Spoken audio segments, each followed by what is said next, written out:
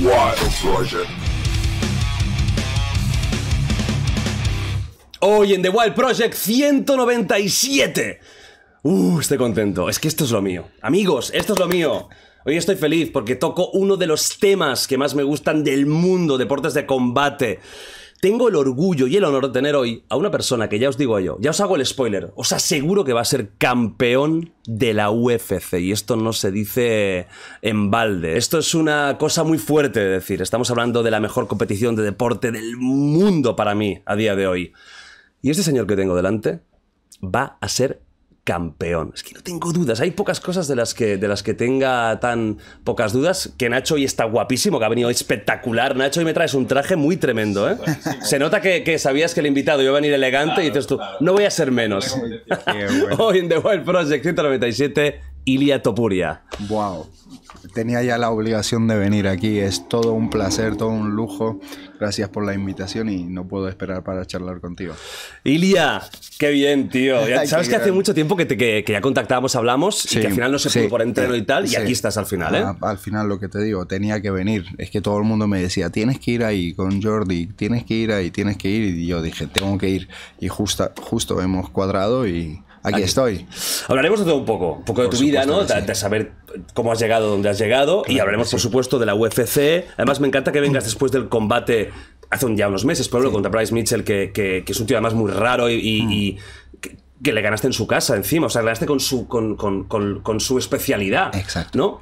y lo que te depara el futuro, que yo creo que es inminente, yo creo que va a haber un anuncio rápido. Ahora mm. hablaremos de esto y un poquito también de tu mentalidad. Yo creo que hay muchas cosas que, incluso a la gente que no le guste el deporte de combate o no conozca, creo que va a salir de aquí con otra imagen y que le va a gustar lo que, lo que va a escuchar. Mm, eh, eso espero, yo creo que sí. Eh, mm, he invertido muchísimas horas en mi mentalidad porque como todo el mundo he tenido mis momentos de, duda y todo, pero a lo largo de, todo el camino me he ido eh, fortaleciendo, aprendiendo de, de, todo un poquito y, orgulloso ¿no? de todo el camino que he recorrido, porque al final todos los momentos que he vivido fueron los que formaron a la persona que soy hoy en día. Pues vamos a conocerte un poquito, vamos a, vamos a, entender, a entender dónde vienes. Tú, si no tengo eh, mal entendido, naces en Alemania, padres georgianos, te vas luego a Georgia y a los 15 llegas a España. Exacto. ¿Cómo fue tu infancia? Mi infancia, pues la verdad que si mm, te digo la verdad, viví hasta los 6 años en Alemania, no tengo muchos recuerdos porque ya sabes, mm, seis, años. Luego me, mudé a Georgia y ahí viví como... Desde ahí empiezo a tener como recuerdos, ¿no? Poco a poco. Y fueron como... Viví momentos duros porque tuve que vivir la separación con mis padres. Cuando tenía ocho años mis padres pues decidieron venirse a España. Y pues para un niño de ocho años era duro, ¿no? Vivir sin sus padres, pues hasta los 15 años vivía sin ellos. Y pues nada, en, Georgia pues conocimos el, la lucha grecorromana que fue por donde hemos empezado todo mi hermano y yo. Y después cuando nos hemos mudado aquí en España con, con 15 años queríamos como seguir practicando el mismo deporte pero no habían gimnasios de la lucha grecorromana. Mm. Y por casualidades de la vida em, nos hemos encontrado con el gimnasio donde entrenamos hasta el día de hoy que es el Climen Club. Y nada, Dios nos trajo hasta aquí. Y aquí estás. Aquí están. Las cosas no, pasan por casualidades, ¿sabes lo que te digo? De pequeñito, cuando estabas en Georgia, ¿eres un, ¿eras una persona eh, que, se metía en peleas? Eh, ¿Tenías mucho impulso? Mm, nunca, jamás. Siempre era. Siempre mis peleas eran cuando yo veía que, porque todos hemos tenido en nuestra clase a, chicos o a chavales que no eran tan impulsivos, que eran más tranquilos y les intentaban hacer bullying. O, Pues yo siempre me intentaba llevar bien con todos ellos para subirles los ánimos, todo. Y siempre me peleaba con, los que se metían con ellos. Entonces mis peleas siempre eran por ellos, pero yo creo que desde pequeño siempre he sido una persona bastante tranquila. Nunca me he metido eh, en peleas así por meterme ni... No sé, nunca ha sido mi estilo no sé, salir y pelearme por la calle. He tenido mis peleas, obviamente, como todos lo hemos tenido, pero nada grave. Fíjate que mucha gente puede tener el prejuicio de persona que se dedica a, pegarse profesionalmente, pues alguien violento, agresivo. Mucha gente que se va conociendo es al contrario, gente calmada. Yo siempre le digo a todo el mundo, Para mí la pelea es algo como normal, natural. Yo voy al gimnasio, me pego con profesionales, con gente que se ha dedicado, le ha dedicado su vida al igual que yo a este deporte. Entonces lo último que quiero cuando salgo por la calle es pelearme otra vez con, con nadie, ¿sabes? Lo que quiero es paz, amor, buen rollo, llevarme bien con todos, educadamente, te doy respeto, quiero lo mismo de ti y ya. Luego te preguntaré por esto de peleas en la calle. Eh, preguntas que, tenemos todos de un profesional top mundial. ¿Qué pasaría en una pelea en la calle? Eh? Sí. Te preguntaré a ver, a ver, a ver, a ver qué pasaría. Si, si hubiera una situación, ¿cuánto te duraría? Esto te lo pregunto después. perfecto. Em, llegas a España, estás en el Crimen Club, que estás ahí entrenando, que es tu gimnasio, donde tú te has formado, ¿no? Como, como peleador. Exacto. Además, los conocí el otro día en Dogfight y bueno, hablan de ti maravillas. ¿eh? son no Lo que pasa es que también dicen que para, para entrenar contigo no, mm, mm, van con miedo, ¿eh? Mira cómo ríe la gente, lo sabe, lo sabe la gente. No, no, con miedo, pero yo creo que me tienen que tratar como un poco especialmente a la hora de cuando me estoy preparando para una pelea. Imagínate que se ponen a rodar conmigo cualquier cosa, pues tienen que ir de una forma bastante más delicada para que no me lesione, para que no me pase nada. Y a lo mejor yo estoy en el recorte de peso, que no mido tanto la fuerza y suelto algo, pues ellos no, no te lo pueden devolver, ¿sabes lo que te digo? Como, qué cabrón. Sí, qué cabrón, claro. Cosas que pasan, pero así es. Bueno, es un poco la, dinámica, ¿no? Vamos evolucionando y la suerte que he tenido con ellos es que son personas que evolucionan al igual que yo, ¿sabes?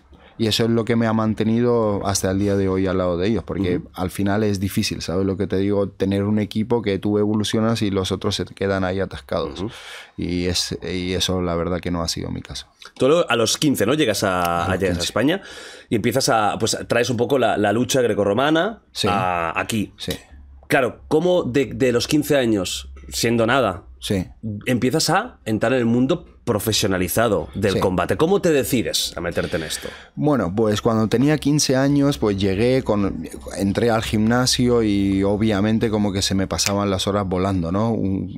Y estudiar nunca ha sido lo mío, como ir al, al, instituto, estudiar historia, física, química, todo eso, como que no le podía poner mi corazón pero también a la vez siempre quería encontrar hacer algo que a lo que le, pudiera dedicar mis ganas, ¿sabes lo que te digo? Y al final cuando entrenaba después dije, pero ¿por qué no, no me dedico y hago al 100% esto? Porque yo cuando era pequeño, una frase que se me quedó en la cabeza que me decía siempre mi entrenador de lucha era, el que quiere cazar dos conejos al final no caza ninguno.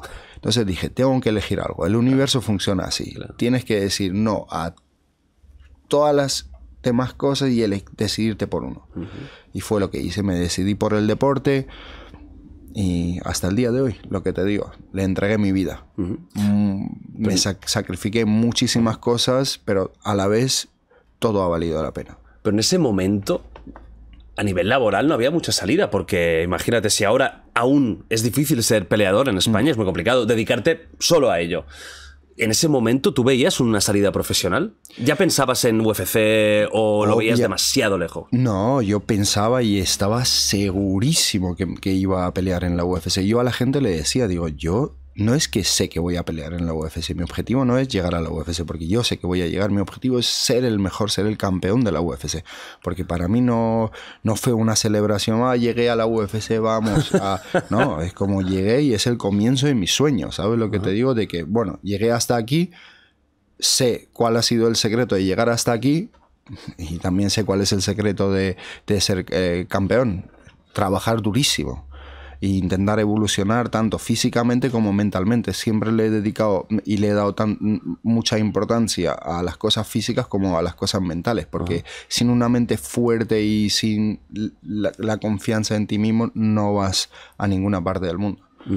¿Cómo fue tu primer combate profesional? No en la UFC, que hablaremos de él, el primer combate que ya era profesional, ¿cómo estabas de nervios? ¿Cómo, cómo Súper nervioso, súper nervioso, como que no quería ni subir, dudaba, yo decía, ¿qué coño hago aquí?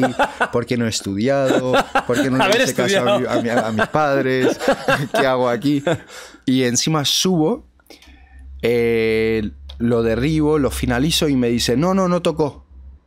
Y dije, pero ¿cómo? Pero si ya lo, lo Ya acabé. está. Y, pero peleaba en casa del, del, del chico, que el evento lo habían organizado ellos. Y cuando yo tenía 15 años se hacían un poco las sí, cosas bueno, eran un poco. Eh, caseras. Sí, y justo mis entrenadores Agustín y Jorge dijeron, ah, no, tocó, vale, de nuevo. Y me, me hicieron finalizarlo de nuevo. Y era, yo era un niño que tenía 15 años y el tío era un tío con barba que se notaba que se había afeitado para ese día. Eh, sí, venía preparado para, que le levantaran la mano, pero no, eh, no tuvo suerte ese día. ¿Ese primer combate fue MMA o fue lucha? MMA, MMA. Ya fue MMA desde el Sí, primer Yo competía en Georgia mm, a nivel nacional bien en, en la lucha grecorromana, por lo que ya estaba bastante familiarizado con las competiciones y todo. Pero MMA es diferente, ¿sabes? Cuando te expones a los golpes y eres un niño y todo, mm, era, era complicado. Pero lo que te digo, yo era feliz en mi día a día. Y yo siempre le digo a todo el mundo, para, yo no busco el éxito, yo busco la felicidad, porque el éxito es la felicidad con uno mismo, ¿sabes? Y yo, desde los 15 años, cuando fui al gimnasio, me metí adentro y se me pasaban las horas sin darme cuenta porque era feliz haciendo lo que, lo que estaba haciendo. ¿Qué más quería? Dios ya me estaba dando lo que yo quería, la felicidad. Ya, y ese es mi objetivo hasta el día de hoy y los días que me quedan. ¿Sabes? Que yo quiero ser feliz, ese es mi objetivo. Aparte de todos los títulos que puedan existir en este mundo, yo creo que el objetivo de cualquier ser es ser feliz. Porque por la mañana muchas veces las personas nos despertamos y hacemos más cosas para protegernos, ir al trabajo, tal, para protegerte porque te da miedo, que cosas que te hacen feliz que realmente eso es un, un error, ¿sabes? Que si todos hicieran la- las cosas que, que le hicieran feliz, todos serían felices, ¿sabes? Y no habrían tantos problemas. Claro.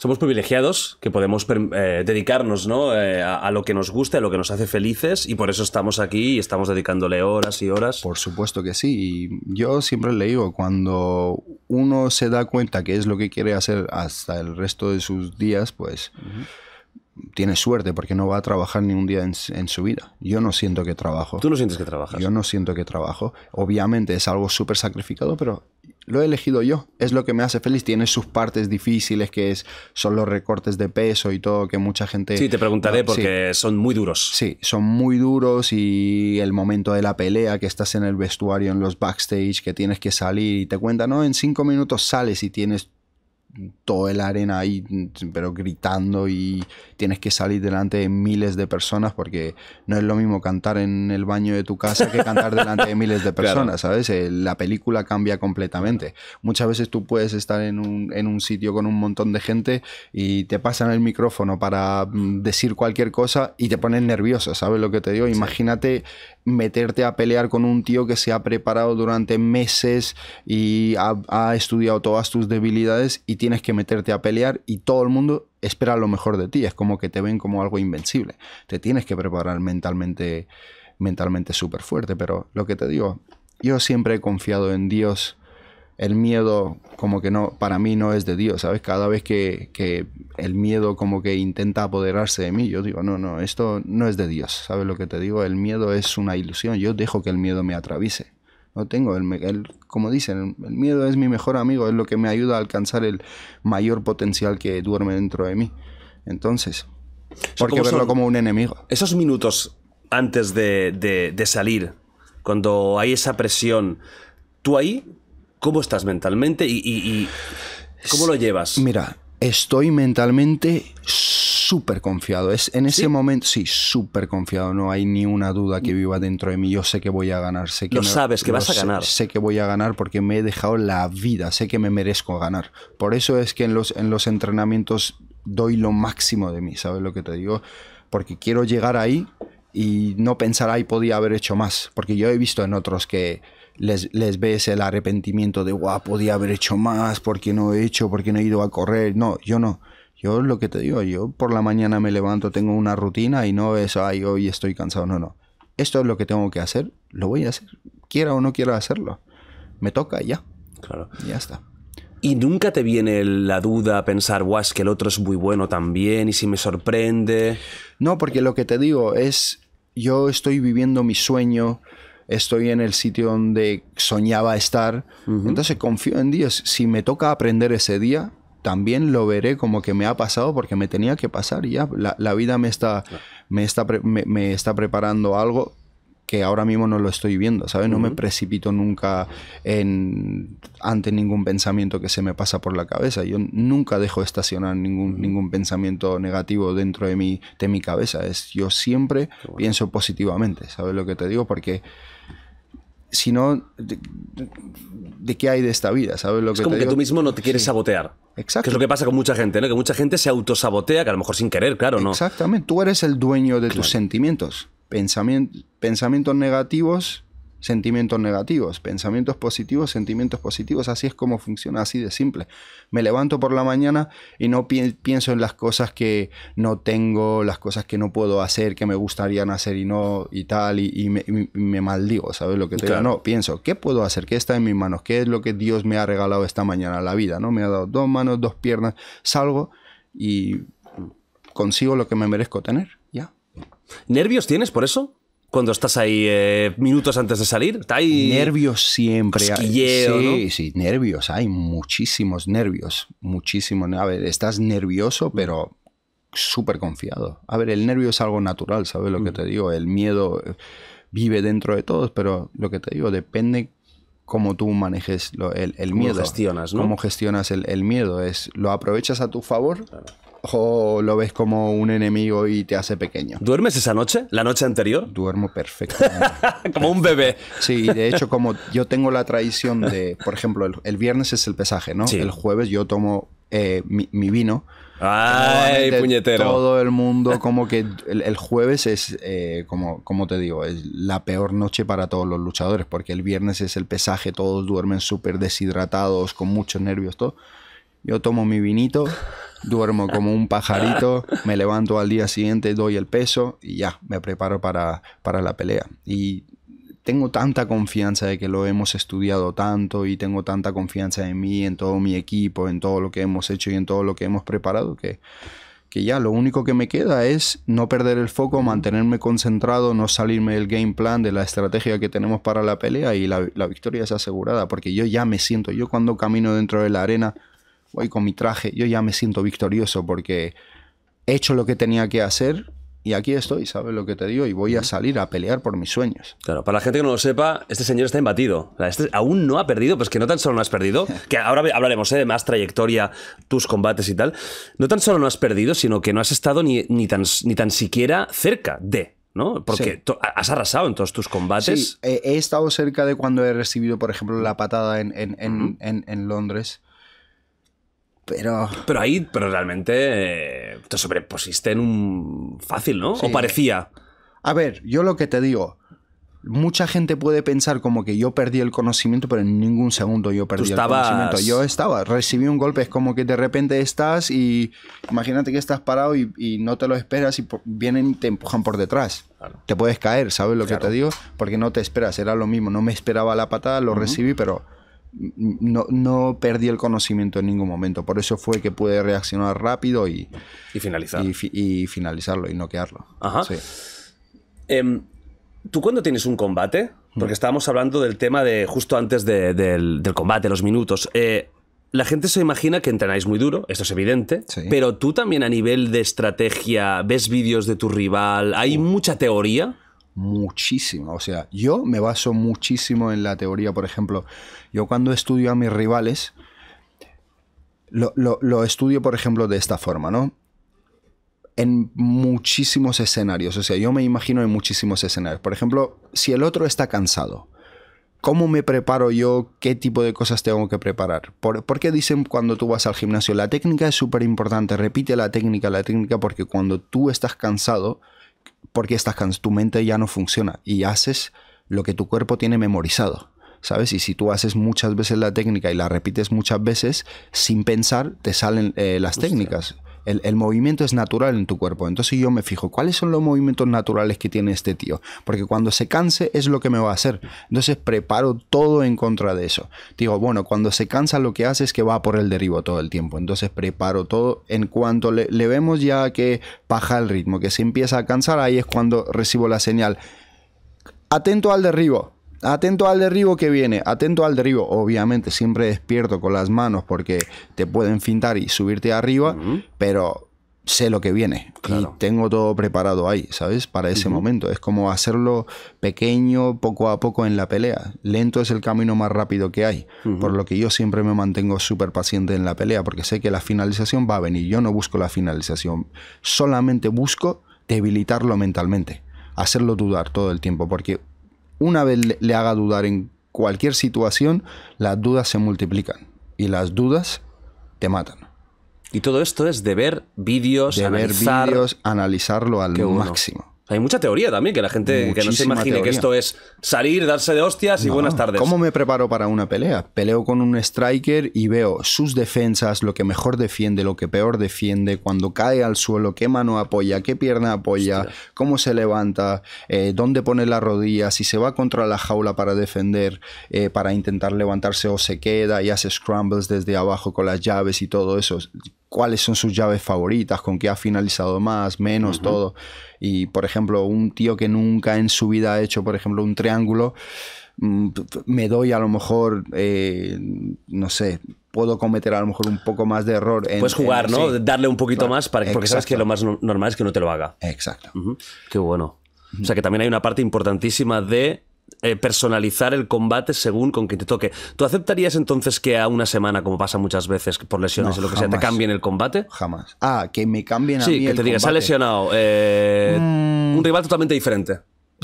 Depende, si es un rival que está, por ejemplo, peleo por el cinturón y me dicen, bueno, mm, con el que ibas a pelear por el cinturón se ha caído por cualquier razón, eh, vas a pelear por el cinturón, pero con otro, no hay problema. Si yo digo que voy, soy el mejor del mundo, el mejor del mundo pelea con todos. Entonces yo pienso y sé que soy el mejor del mundo. Entonces si peleo por el cinturón, sí, pero ahora si peleo con el número uno y de repente me dices que me vas a traer al número 20, pues te digo que mira, prefiero no, porque ¿qué gano?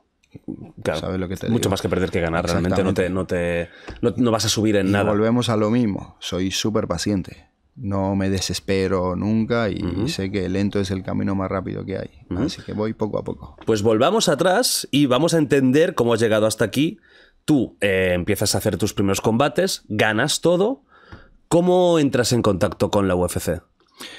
Bueno, mira, yo empecé a entrenar aquí en España, ¿no? Y hice cuatro peleas aquí en España, en los eventos nacionales, todo. Y después llegó un momento como que me hicieron participar en un reality show que hasta el día de hoy se desconoce todo eh, sobre eso. Algún día eh, lo, sacaré porque me hicieron pelear dentro de, del reality. Hice tres peleas, gané las tres en el primer Pero eso no ha salido en ningún lado, ¿no? En ningún lado. Hice tres peleas, gané las tres peleas en el primer asalto. Y. ¿Qué cojones? Eso sí que, no tenía ni puta idea. lo iban a televisar, al final no pudieron vender. ¿Pero era de la UFC? No, no, era de España. Lo hicieron aquí en España como un reality que nos llevaron a 16 chicos y nos, hacían pelear aquí en Barcelona, de hecho. ¿Y vivíais juntos y todo o no? Mm, durante algunos días sí. Durante algunos días, como imagínate, de. Mm, martes a sábado que peleábamos y el domingo ya nos volvíamos a, casa y hice en un mes tres peleas. O sea, corté el peso en un mes tres veces todo y al final que no nos económicamente no nos dieron lo que nos habían prometido, no, no se hizo la final del evento, iban a televisarlo por la, o sea, lo que nos vendieron era lo vamos a sacar por la tele, os vamos a dar a conocer tal, yo era lo que buscaba en ese momento, ¿sabes? Y al final como que no, Hostia. Y quedé como súper triste en mi casa, ¿sabes lo, que te, lo, que te digo? Porque ya no conseguía peleas ni nada. Y dije, ¿qué hago? Y el mejor gimnasio en aquel entonces en Europa era All Stars Gym en, en, Suecia, donde entrenaba Alexander Gustafsson, que recientemente había peleado con John Jones por el Chimaev también sale de ahí, ¿no? Chimaev también ha salido ahí. Y dije, bueno, eh, me tengo que ir ahí pero en ese momento irme a mí, o sea, irme a Suecia para mí me suponía unos gastos eh, grandes, ¿sabes? Que yo, el que me conoce sabe que vengo de la nada. Entonces le pedí ayuda a un amigo, él me extendió la mano, fui a Suecia y nada, fui a entrenar el primer día, entrené, nada más terminé de entrenar, el manager de ahí que, que que era en ese momento, que es hasta el día de hoy Majdi, que también me ayudó mucho en, en su momento, eh, me ofreció firmar con él. Solo con un día. Solo entrené, terminé de entrenar y luego me quedé entrenando ahí. eh, fui como tres o cuatro veces, hice tres campamentos ahí y me firmaron. Y desde ahí me empezaron a salir oportunidades. Peleé, luego me llevaron a pelear en Finlandia, después me dieron la oportunidad de pelear por el cinturón en Cage Warriors. Y luego firmé un contrato en Brave y ya después UFC. Claro, Cage Warriors, que también McGregor, ¿no? Sale de ahí. Sí, y, McGregor o sea, fue es una cantera importante de, de grandes estrellas actuales. Exactamente. O Exactamente. sea, que el UFC llegas vía el, el gimnasio de Suecia y a partir de ahí te inter- internacionalizas. Claro. ¿Y, y cómo, ¿Y cómo es el primer contacto con la UFC? ¿Vienen representantes suyos? Sí, o sea, mira, yo hago dos peleas en Brave y, y yo ya sabía que estaba para la UFC, ¿sabes lo que te digo? Hice dos peleas, me quedaban dos peleas más en el contrato, pero dije, mira, si yo consigo salirme del contrato, Claro. sé que la UFC me va a firmar. Eh, es que un- cuando uno tiene confianza en Sí, sí, mismo, ¿sabes lo que te digo? Atrae lo que piensa de, Sí, de él. ¿Sabes lo que te digo? Yo siempre es como que es la ley de la atracción, ¿sabes? Si tú de ti piensas que te mereces, yo qué sé, 10 mil euros al mes, Dios te va a poner todo para que tú obtengas eso. ¿Sabes lo que te digo? Depende del pensamiento que tú tengas de ti mismo, lo que tú vales. Si tú crees yo valgo, el universo se va a conspirar para que tú obtengas lo que te mereces tener. ¿Sabes? Tú Pero sabías que ibas a acabar en la UFC en sabía. breves. Bueno, entonces salgo de, de- de- de Brave, se me termina el contrato con la agencia de management con la que estaba y se pone en contacto conmigo First Round Management, que es la agencia de representación con los que estoy ahora y justamente me ofrecen firmar con ellos y que me, me llevarían a la UFC. Firmé y me iba a ir a los Estados Unidos y el día que me iba a ir a Estados Unidos, una semana antes, me llaman y me dicen que si el mismo día de, de que tenía el vuelo para ir a Estados Unidos quería pelear en la UFC, pero en Abu Dhabi, en ocho días. Y dije, mira, las oportunidades no, no te vienen todos los días y menos así, ¿sabes? Esto es mi sueño y me da igual que tenga ocho días, yo voy a, a aprovechar mi oportunidad. Y ahí empezó toda la historia. Y vas ahí, el primer combate es contra Yusef Zalal. Exacto. Esto, esto estrena a otro nivel ya, ya estamos hablando de, de- Tenía un 4-0 dentro de la compañía, no era una pelea regalada. No. Tenía cuatro combates, cuatro victorias y me llevaban a mí como la carne fresca, ¿sabes lo que te digo? Y era un, era un Fight Night con, con un Moraes contra Sanhagen, que es, un, que es un combatazo. Sí, Ah, sí, es sí, un muy buen combate. Que no vas a un. eh, para la gente que lo entienda, que no lo metieron en una cosa mala. No, no. Es, no, es y un aparte era el, combate, o sea, el único seguida. deporte, el único deporte en toda la pandemia Mm. Que se televisaba, o sea, que, que estaba en, que estaban, no sé, haciendo eventos. El único que no paró. El único que no paró, cogieron una isla ahí, todos Sí. nos metieron en una burbuja y nos hacían pelear ahí. Era todo como súper extraño. ¿Cómo ¿sabes? era eso de la burbuja? Claro, No es que es verdad que no me acordaba que tú Sí. viviste ese momento. Sí. ¿Cómo, cómo era? Porque eh, Parecían acordémonos, era pandemia pura, confinamiento en todo el mundo y la UFC haciendo en una isla en, Abu Dhabi, ¿no? Por ahí estaba. ¿Cómo era eso? A ver, ¿cómo, cómo cómo os trataban? Buah, era primero. Antes de llegar ahí te Sí. tenías que hacer pero un millón de pruebas. Pasé un día, literalmente me llamaron para pelear en ocho días en Abu Dhabi, pues de ocho días uno pasé en el hospital. Oh. Haciéndome mil pruebas. Cuando llegué ahí parecían extraterrestres, tipo en tipo uniformes de plástico, así. Hostia. Te tocaba medio raro, te hacían el- el- los PSRs, todo. En una semana, Ajá. tipo en seis días me hicieron creo que mm, ocho PSRs. Hostia. Sí. Y todo el rato. Era como te despertabas por la mañana Y el palito nariz, en la nariz. Hostia. Te despertabas palito en la nariz. Sí. Era Pero peor esto que luchar, ¿eh? Sí, era, era un poco raro, luego sin público, sin nada, y normalmente est- estás acostumbrado a pelear con delante de todo el mundo, ¿sabes lo que te digo? Vamos, ah. La gente se vuelve súper loca y de repente, pues un silencio, en- habían como 20 personas en la sala, obviamente las cámaras y todo, pero parecía todo vacío, ¿sabes? Era un poco... Era extraño. raro luchar en un, en un, en un ambiente así. Era rarísimo. Rarísimo, Era rarísimo, pero bueno, lo- era lo que había en ese momento. ¿Podíais tener eh, contacto cercano con vuestra gente? ¿Con, la- ¿Con entrenadores y tal? ¿O teníais que estar separados? Mira, eh, una vez entrabas en la habitación, por ejemplo, entraba yo, entré con mi entrenador en mi habitación y el otro, el otro se quedó en otra habitación y hasta que no nos dieran los resultados de, de la PSR, que tardaba, no sé, en 48 horas o algo así, no podíamos vernos. Qué complicado, ¿no? Súper complicado. Y si, por ejemplo, tú no dabas positivo en, en COVID, pero tu entrenador sí, te cancelaban la pelea.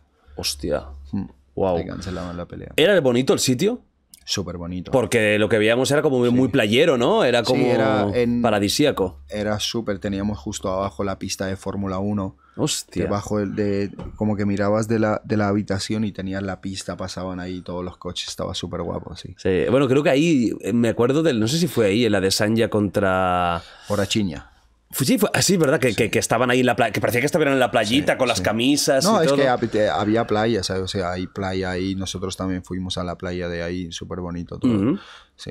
Y luego como- a, a- a darte hostias ahí. eh, Exactamente. eh, a, a darlo todo. Era buenísimo porque es como que sentía bastante privilegio, que todo el mundo, era como justo el momento de que te controlaban hasta el supermercado que ibas, Mm. que de la, tipo no podías ir creo que a tres kilómetros de tu casa o algo así, y yo estaba en Abu Dhabi en una playa tomándome un coco, ¿sabes lo que Qué te digo antes de la pelea? La vida dura del luchador, eh, me lo del coco no es verdad, ¿eh? porque estaba cortando el peso, era solo una expresión. No, un coco con agua, un coco con agua. Con agüita, ¿eh? Eso, y ya eso. está. Lo vacié y agua. Exacto, solo había agua. Primer combate UFC. Sí. Ahí entiendo que el nivel de presión es otro, ¿no? Yo supongo que tú mismo estabas pensando, o no, o- No, no, te lo prometo que No, para, para mí era como lo que te digo, era algo normal. Yo sabía que iba a llegar. incluso Yo- el primer combate de UFC. el, el primer combate yo sabía que pertenecía a, a ese grupo de, de gente, ¿sabes lo que te digo? Como la vida. El león está con los leones, la cebra lo está con las cebras. Pues yo lo mismo, estaba con los mejores porque soy el mejor. Qué bueno. Y, y cómo- en tan poco, o sea, en tan pocos días, ¿cómo planeaste el, el combate? ¿Te sorprendió, Zalal?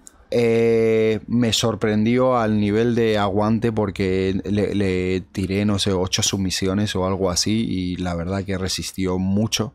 Pero yo venía de pasar coronavirus, de estar mal, que la verdad que no me gusta hablar de esto porque como que se me hace como una excusa y a mí nunca me gusta poner excusas. Pero Un la realidad a veces Un ganador no le hace falta excusas, ¿sabes? Yo gané. Pero Sí. la realidad fue que, que estaba bastante malo. Aparte, luego, lo peor fue que los combates los cuadraban con el horario americano. Entonces yo peleé con el horario de ella a las 4 de la mañana. Me desperté a la 1, me bajé, me llevaron a, a la arena, calenté, imagínate lo que es calentarte para, para pelear en la UFC a las 3 de la mañana. Surrealista. ¿no? Sí, es como, tío, estoy durmiendo. ¿Por qué, me están haciendo esto? tío? Tenía el coco con Sí, agua y- Claro, tío. déjeme que le pegue en un horario Normal, ¿no? normal. Cristiano, por sí, favor. cristiano, por favor. Algo así. Fue un poco raro, Ajá. pero bueno, eh, lo que digo, todo valió la pena. No me arrepiento de nada. Cuando, cuando ganas, por lo, por lo que se, se vio, y, y tú mismo dices, ¿no? ¿no? No estuviste del todo contento con, con- quizás con la performance, de lo que podrías haber dado. Claro, porque yo sentía como que llegué a los puntos con un chaval que si de verdad tengo una preparación... Finalizas. en- en- no me aguanta un asalto, con todo el respeto del mundo, ¿sabes lo que te digo? Pero no me aguanta, es como niveles y niveles, es la, es la realidad. Ujú. ¿Sabes lo que te digo? Pero bueno, salí de la- del combate, Dana vino a felicitarme, eh, porque también me dio la oportunidad de mostrarme durante tres rounds, ¿sabes lo que te digo? claro. Que no estaba preparado, pero bueno. Y al final, mira, la, la cosa termina bien. Dana White, eh, tú has tenido bastante trato con él. Sí, me fui a Las Vegas a reunirme con él. Obviamente nada personal, todo de un trato profesional, pero ya, ya llegaremos a ese punto también. ¿Qué tal es en persona? Súper majo. Cuando fui a Las Vegas a reunirme con, con él, que me llevaron, mm, yo pensé que iba a ser mucho más serio. Entré y lo primero fue porque fui con mi manager Malky y le dijo, ay, qué zapatillas más chulas llevas, tal, porque llevaba unas zapatillas de Nike así, súper chulas. Y dijo, bueno, eh, pasad, eh, os voy a mostrar mi, mi, mi vestidor. Y nos metió en su vestidor donde tenía, no sé, dos mil pares de zapatillas. Y dijo, no, es que no me he puesto ninguna de estas, creo que nunca. Hostia. Sí, porque esta- estuvimos en el Performance Institute, que es donde tienen lo- las oficinas ellos, pues tenía un vestidor ahí Hostia. en la, en la oficina del tío Ajá. de zapatillas de Nike, de mm, ediciones limitadas. Una locuras. locura, ¿no? Sí, que no es mucho mi estilo, pero... Hombre, pero impresiona, ¿no? Verlo Sí, ahí es como. Claro. O sea, tiene su como su, su zulo ahí de lujo con todo tipo de Claro, cosas. todo, to- todo lo bueno de, de esto es que empiezas, ves a la gente por la tele, ¿sabes? el, el dueño de la UFC, peleadores de la UFC, tata, y de repente pues estás en un vestidor con él. Claro. ¿Sabes lo que te digo? Es como, te das cuenta como, sí, ¿sabes? Sí, que tú lo has conseguido. Exactamente, sí, ¿sabes? Estoy aquí, no casualidad no es. No, no, estás ahí, Suave, estás claro. con, con- con lo más grande. Exactamente. Yo no conozco a muchos que Deina los haya metido en su vestidor. ¿Sabes lo que te digo? Yo ¿Por, por qué, ¿Por qué te llamó? ¿Qué crees que.? O sea, supongo que hubiera un tema. eh, ¿Fue el tema ese que, se- que, que, que, que- que luego eh, luchaste en, en ligero? Sí. Vale. sí. O sea, ¿qué- qué- ¿cuál era el motivo real de que te hiciera venir, además de conocerte? Sí, a ver, el motivo realmente fue como que me querían preguntar que qué había pasado con el, con el recorte y todo, y después como que me dijeron, mira, nosotros confiamos que vas a ser el campeón, ta, ta, ta, y entonces como que para que no estés inactivo, si te cuesta dar el peso y todo, porque después también lo que hicieron es que me pusieron al nutricionista de Performance Institute para que tuvieran más control sobre mi peso y, y todo eso.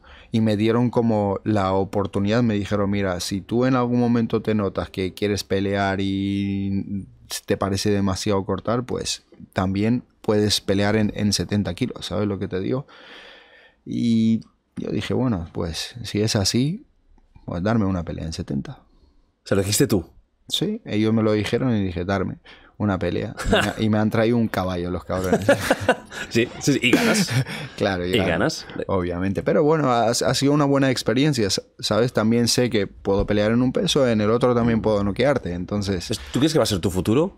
eh, 70, Sí. sí. sin duda. En no, unos no- años- No, va a ser un peso, yo creo que donde voy a estar eh, compitiendo frecuentemente, sino haciendo peleas grandes. Es que es- el, es el. Yo creo que a nivel de, de- de- de- talento es el mejor. Sí. Es el que está más petado de superclase y Exacto. los cinco primeros son una locura. Sí, son una locura. Por eso te digo que yo el día de mañana seguro que pelearé a lo mejor con los cinco primeros. Yo te veo intentando el doble. El doble. No, seguro. Seguro, ¿eh? Seguro, 100%. O sea, es que lo tienes tan claro que es, es, 100%. es una pasada, ¿eh? Sí, 100%. Bueno, hablas con, con, con Deina. Em, ¿Notaste que él, además de para decírtelo el recorte, te tiene como una preferencia, en el sentido de que él huele? Por eso al final es un businessman, ¿no? Eh, Dana White 100%. sabe lo, sabe lo que hace y lo que no hace. 100%. ¿Crees que, que contigo ha visto una oportunidad de un nuevo personaje importante de- en, en la UFC? Ya no tan solo como luchador, sino incluso como figura, ¿eh? Pública. 100%. Si no, no te llevan. ¿Para qué? ¿Por qué estaba ahí? ¿Para qué me llevaron y me querían dar consejos? Yo no le doy consejos a gente que no me interesa. ¿Sabes? Le doy consejos a alguien que le veo, no sé, importante, le veo un futuro, le veo, le veo algo especial. Claro. ¿Sabes lo que te digo? Si no, yo muchas veces me puedes decir de, de esto, esto no es naranja, esto es, mm, yo qué sé, rojo. Y yo sé que es naranja y tampoco voy a perder mi tiempo demostrándote que es naranja, ni pierdo mi energía, ni nada, ¿sabes Lo que sabes y ya está. Yo sé lo que es y ya está, tú créete lo que quieras. Ajá. ¿Has hablado más con él, así en nivel eh, personal cercano o de momento no? No, así a nivel personal cercano no. Yo, ellos tienen mucha experiencia, intentan como mantener yo creo que una distancia con los peleadores y todo. Claro. Es como nosotros, yo en mi trabajo con la gente que, que trabajo, intento como mantener una distancia de, de profesionalidad, Mm. ¿sabes lo que te digo? De, no todo es de color de rosas, ¿no? Claro. En un combate ya profesional a vuestro nivel, donde recibís, donde dais, y esto la gente que no ha luchado nunca se pregunta, ¿no? O la gente que solo se ha peleado en la calle y lo que duelen las cosas. ¿Sentís dolor dentro de un combate? No. Es, que es alucinante esto, ¿eh? No, A ti te dan la cara Sí. un sopapo Sí. y no te duele. no. No, yo no lo, no, lo, no, no lo sentí, mis compañeros también que, que, que han peleado muchísimo, que también hablamos, ¿no? No, no, no sientes en ese momento. Pero también te digo una cosa, yo personalmente es como mm, cuando noto que tengo un corte o algo, es como, a ver, primero ante nada, soy yo, mi, mi persona, ¿sabes? Claro. Mi estado físico Sí, y todo. sí, sí. Ante cualquier título, ante tal, yo no quiero demostrarle nada a nadie. Mm. te lo prometo, no es mi objetivo nunca. Es tipo. No quieres yo- morir ahí como un no- mártir. no, ¿Qué va, qué va? qué va? Yo, ¿sabes? Más que en, en- en dar, muchas veces me concentro en, en- no no, recibir. recibir. ¿Sabes? Como un- una película que vi una vez que era como un tío súper cortado por todos lados y lo llevan y le dicen, mira jefe, te hemos traído a uno porque estaban como armando un grupo para atracar a otro y dice, mira, este pues se, se podría unir a nuestro equipo y estaba como con un montón de cicatrices y dice, no, no, dice, sáquenlo de aquí. Dice, pero ¿por qué? Dice, míralo cómo está. Dice, no, no, tráiganme el que se lo ha hecho todo eso. Mejor que el que va recibiendo, ¿no? Exactamente. Eso, eso es evidente. Exactamente. Pero, no- pero, pero aun cuando os dan, no hay dolor. No es No un momento que a lo mejor una persona normal, a mí, cualquier persona, le dan una hostia y aunque chicas para adelante, vosotros no notáis eso, ¿no? Mm. Es curioso, ¿eh? Es como te digo... Eh, Eso es lo entrenar. O sea, se puede, se puede entrenar el, el dolor. es no, un tema mental. no, Porque eso lo hablaba también con César Alonso, Sí. que participó en el dogfight y me contaba: es que yo por la calle me pegan una hostia y no porque sea Superman, es que no la noto. Pero aunque me lo hagan con fuerza, no es un. Y eso. y- Puede ser, puede, a ver, mm, sí, por la calle también, es que si ya te pones y es como, vale, vamos a pelear, es como, sí. me ¿Qué dirías que es lo que hace que no tengáis La adrenalina. adrenalina? La adrenalina y el no perder el foco, ¿sabes lo que te digo? Puede ser que me duela, pero no pienso que me duele. Me, me- me da igual. El miedo no te salva de la, de la muerte, ¿sabes? Y en combate estáis en ese, en ese mood. Exactamente. Yo estoy en el mood de que no hay miedo. El miedo no me salva de la muerte, no me ayuda en nada, ¿sabes lo que te digo? Por lo que me olvido del miedo de, ay, recibí dolor. No hay dolor. No, fíjate que en un combate eh, oficial, de lo que sea, es muy complicado ver que un golpe el otro lo recibe con cara de dolor, ¿no? Lo recibe, en todo caso, puedes quedarte Sí, atontado. muchas veces yo creo que las caras y los gestos que ponen lo- los peleadores es más por el cansancio que por el dolor, ¿sabes? Es el cansancio, estoy jodido aquí. Me están no metiendo puedo una más ya. paliza. que termine ya, ¿eh? Sáquenme de aquí.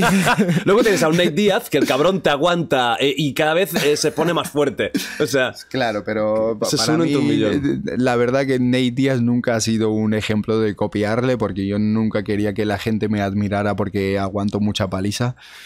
Sino porque Sí, das. sí, porque doy, ¿sabes lo que te digo? Pero que a mí me encanta. Sí, mola, es divertido de Sí, es súper divertido porque es un tío que pone show, recibe una paliza y después, pues cuidado que igual te remonta la pelea. Sí, sí, es, es curioso. Sí. A nivel de cansancio, que hablabas de- del- del cardio, ¿no? ¿Cansa tanto un combate? Porque son.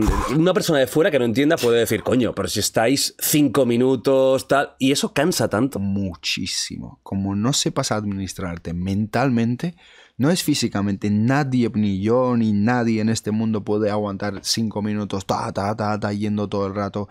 Si tú no te sabes administrar, no sabes en qué momento poner la potencia, en qué momentos pues darte el descanso de, bueno, no todo el rato voy a estar con las manos súper tensas aquí, ¿sabes? A veces tengo que jugar con mis manos, mover el cuerpo y relajar el cuerpo, ¿sabes? No todo el rato ir tenso, nadie puede aguantar eso. Es como te tienes que conocer muchísimo. Te tienes que conocer muchísimo. Por eso yo soy partidario de a la hora de cuando hacen los sparrings y todo.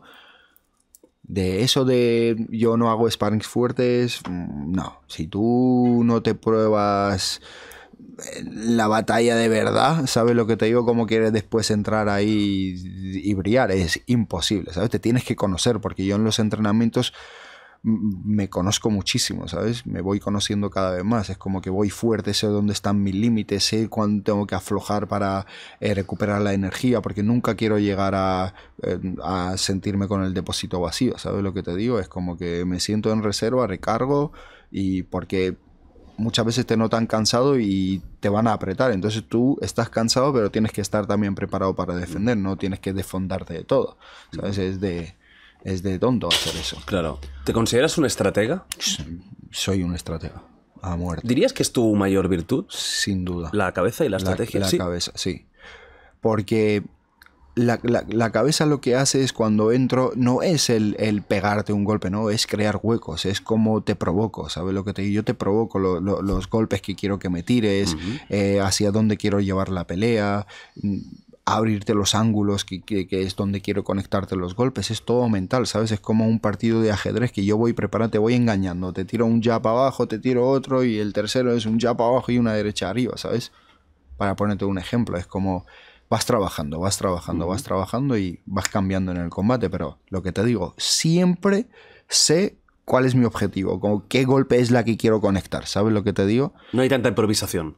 No improviso tanto, ¿sabes lo que te digo? No soy mucho de improvisar, por eso me gusta hacer un campamento completo para cada peleador, porque es como que los estudio al máximo. Si peleo con un striker, todo mi campamento es derribo, control en el suelo y obviamente movimiento de cabeza por si no consigo el derribo o cualquier cosa en, algún momento del combate, también estar preparado, ¿no? Tener mi movimiento de cabeza siempre presente para no recibir golpes.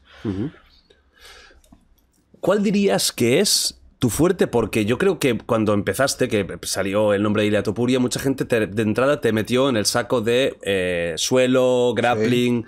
Y últimamente lo que estás haciendo, o has hecho mucho, es super caos. Sí. Y, finalizaciones espectaculares. ¿Lo haces, lo, provocas tú un poco para hacer espectáculo? Eh, porque si tú quisieras llevarlo al suelo, podrías terminar de una forma no tan visual. ¿O es realmente es que ahora quieres potenciar tu fuerte en golpeo? Mira, siempre trato de ser imprescindible, que no sepan por dónde voy a salir. Pero también a la vez estoy consciente que no es un deporte donde solamente basta con ganar, es un deporte de espectáculo, donde tienes que poner el espectáculo, ¿sabes lo que te digo? Si estás ahí, tienes que ser un buen producto, que a la gente le guste, ¿sabes lo que te digo? Yo cada vez que miro mis combates o hago sparrings y tal, yo miro y digo, a mí me gusta ver esto. Yo pagaría para ver esto iría a verlo y disfrutaría. Yo, de hecho, hasta cuando voy a ver un evento de, MMA o voy a ver la UFC y lo veo, yo siempre veo cosas de desde la salida que uno hace hasta que termina la pelea. ¿Qué me gustaría que hiciera? ¿Qué es lo que me molaría en la pelea? Ahora mismo, ¿qué me gustaría que hiciera? Que, le que levantara las manos para arriba y animara al público, que vacilara al otro. ¿Sabes qué es lo que me, molaría ver como espectador? Pues yo trato de introducir todo eso en mí. ¿Dirías que tu fuerte es el, grappling o es, el golpeo? Sin, sin, duda es el ah, siempre mi base, mi, fortaleza es el suelo y el wrestling. la lucha. Pero he mejorado muchísimo, muchísimo en, boxeo, por lo que ahora mismo no sé. Es que los dos, ¿sabes lo que te digo? Yo boxeando soy muy peligroso, en el suelo soy peligroso, tirando soy peligroso, soy peligroso. ¿Qué disfrutas más por eso tú? luchando. Boxeo. ¿Sí? Boxeo. ¿Te, lo pasas mejor? Sí, me lo paso mejor. Que yendo ahí a la presión. Me, me, aparte, yo disfruto, luego me gusta verme más haciendo eso. Es como para mí es más, pero siempre voy a la estrategia. Si tienes que usar suelo, lo vas a usar. que usar, sí. Yo lo que quiero es ganar, pero no quiero ganar a los puntos, ¿sabes? Lo que te digo, yo nunca pienso en los puntos, ¿sabes? Yo es como para mí ganar es te maté. Sí, para mí ganar es no eso de un árbitro 27-29, no. Para mí es ganar, tocaste, loco. Y se acabó. Te rendiste. Qué bueno. Te dormiste. ya, no hay más. Claro. ¿Sabes lo que te digo? No me hacen falta. Los jueces a comerse un bocata cuando yo peleo. que ni miren. Que, ni ¿eh? miren. que, vayan al lavabo, que aprovechen para descansar. Por eso es como un, como un peso que tengo dentro de mí por la pelea que he llegado a los puntos, porque es como nunca quiero puntos. Yo no quiero, no es mi objetivo. Te dio rabia, ¿no? El hecho de. Yo quiero, es como. Es un deporte de pelea. Nos, pegamos, ¿no? Aquí, si no hay árbitros, ¿quién ganó? Mm. No lo sé. no quiero irme nunca a mi casa de, vale, competimos y no gané empate. Te daría ahí, ¿no? Sí, es como, no, ah. no, lo he cumplido el objetivo. exactamente. El último combate contra Bryce Mitchell, que es un tío que es muy peculiar. Yo no había visto nunca a alguien con esas llaves. O sea, no, las volteretas intentando agarrar, pero también es muy peligroso. O sea, que la gente no se quede con la parodia porque es un tío que realmente es. Mucha gente no quería luchar también con él. Es muy incómodo. A Ryan Hall te refieres, o Bryce Mitchell. Ay, Bryce Mitchell, perdón, Ryan Hall, perdón, que eh, Bryce Mitchell es la última, que, también lo dejaste frito. Que eh, luego te preguntaré por el, por el careo y todo eso, porque ahí hubo cierta tensión. Ryan Hall, Ryan Hall. Em, Ryan Hall es un tío muy, muy, muy, muy peculiar. Sí. Y ah, no tiene que ser fácil de prepararse con un tío tan diferente a todo el mundo. Sí. ¿Cómo te preparas para un combate como el de Ryan Hall? Pues me traje a los mejores de Europa, que mm, eran especialistas en todas las llaves que él hacía en el suelo, porque él, creó una guardia que le llaman el 50-50 y es un mm. especialista en los leg locks. el que entiende de, de suelo, pues ahora de lo que estoy hablando. Y pues me traje a todos los especialistas en Leglox en, mis en mi campamento. Y me preparé mm, para estar en sitios donde él estuviera súper incómodo, yo cómodo, y no ir donde él quería que fuera y ya. Y fue lo que pasó. En la pelea él me buscaba como con, su- con los rolls esos que hacía Sí, rarísimos, sí, sí. buscarme el suelo, pero nada, lo anulé y lo que te digo, lo hice dudar. Hmm. Y cuando lo haces dudar, eso lo sientes, hasta en la respiración, ¿sabes? Lo que te digo, tú te abrazas y notas la respiración con...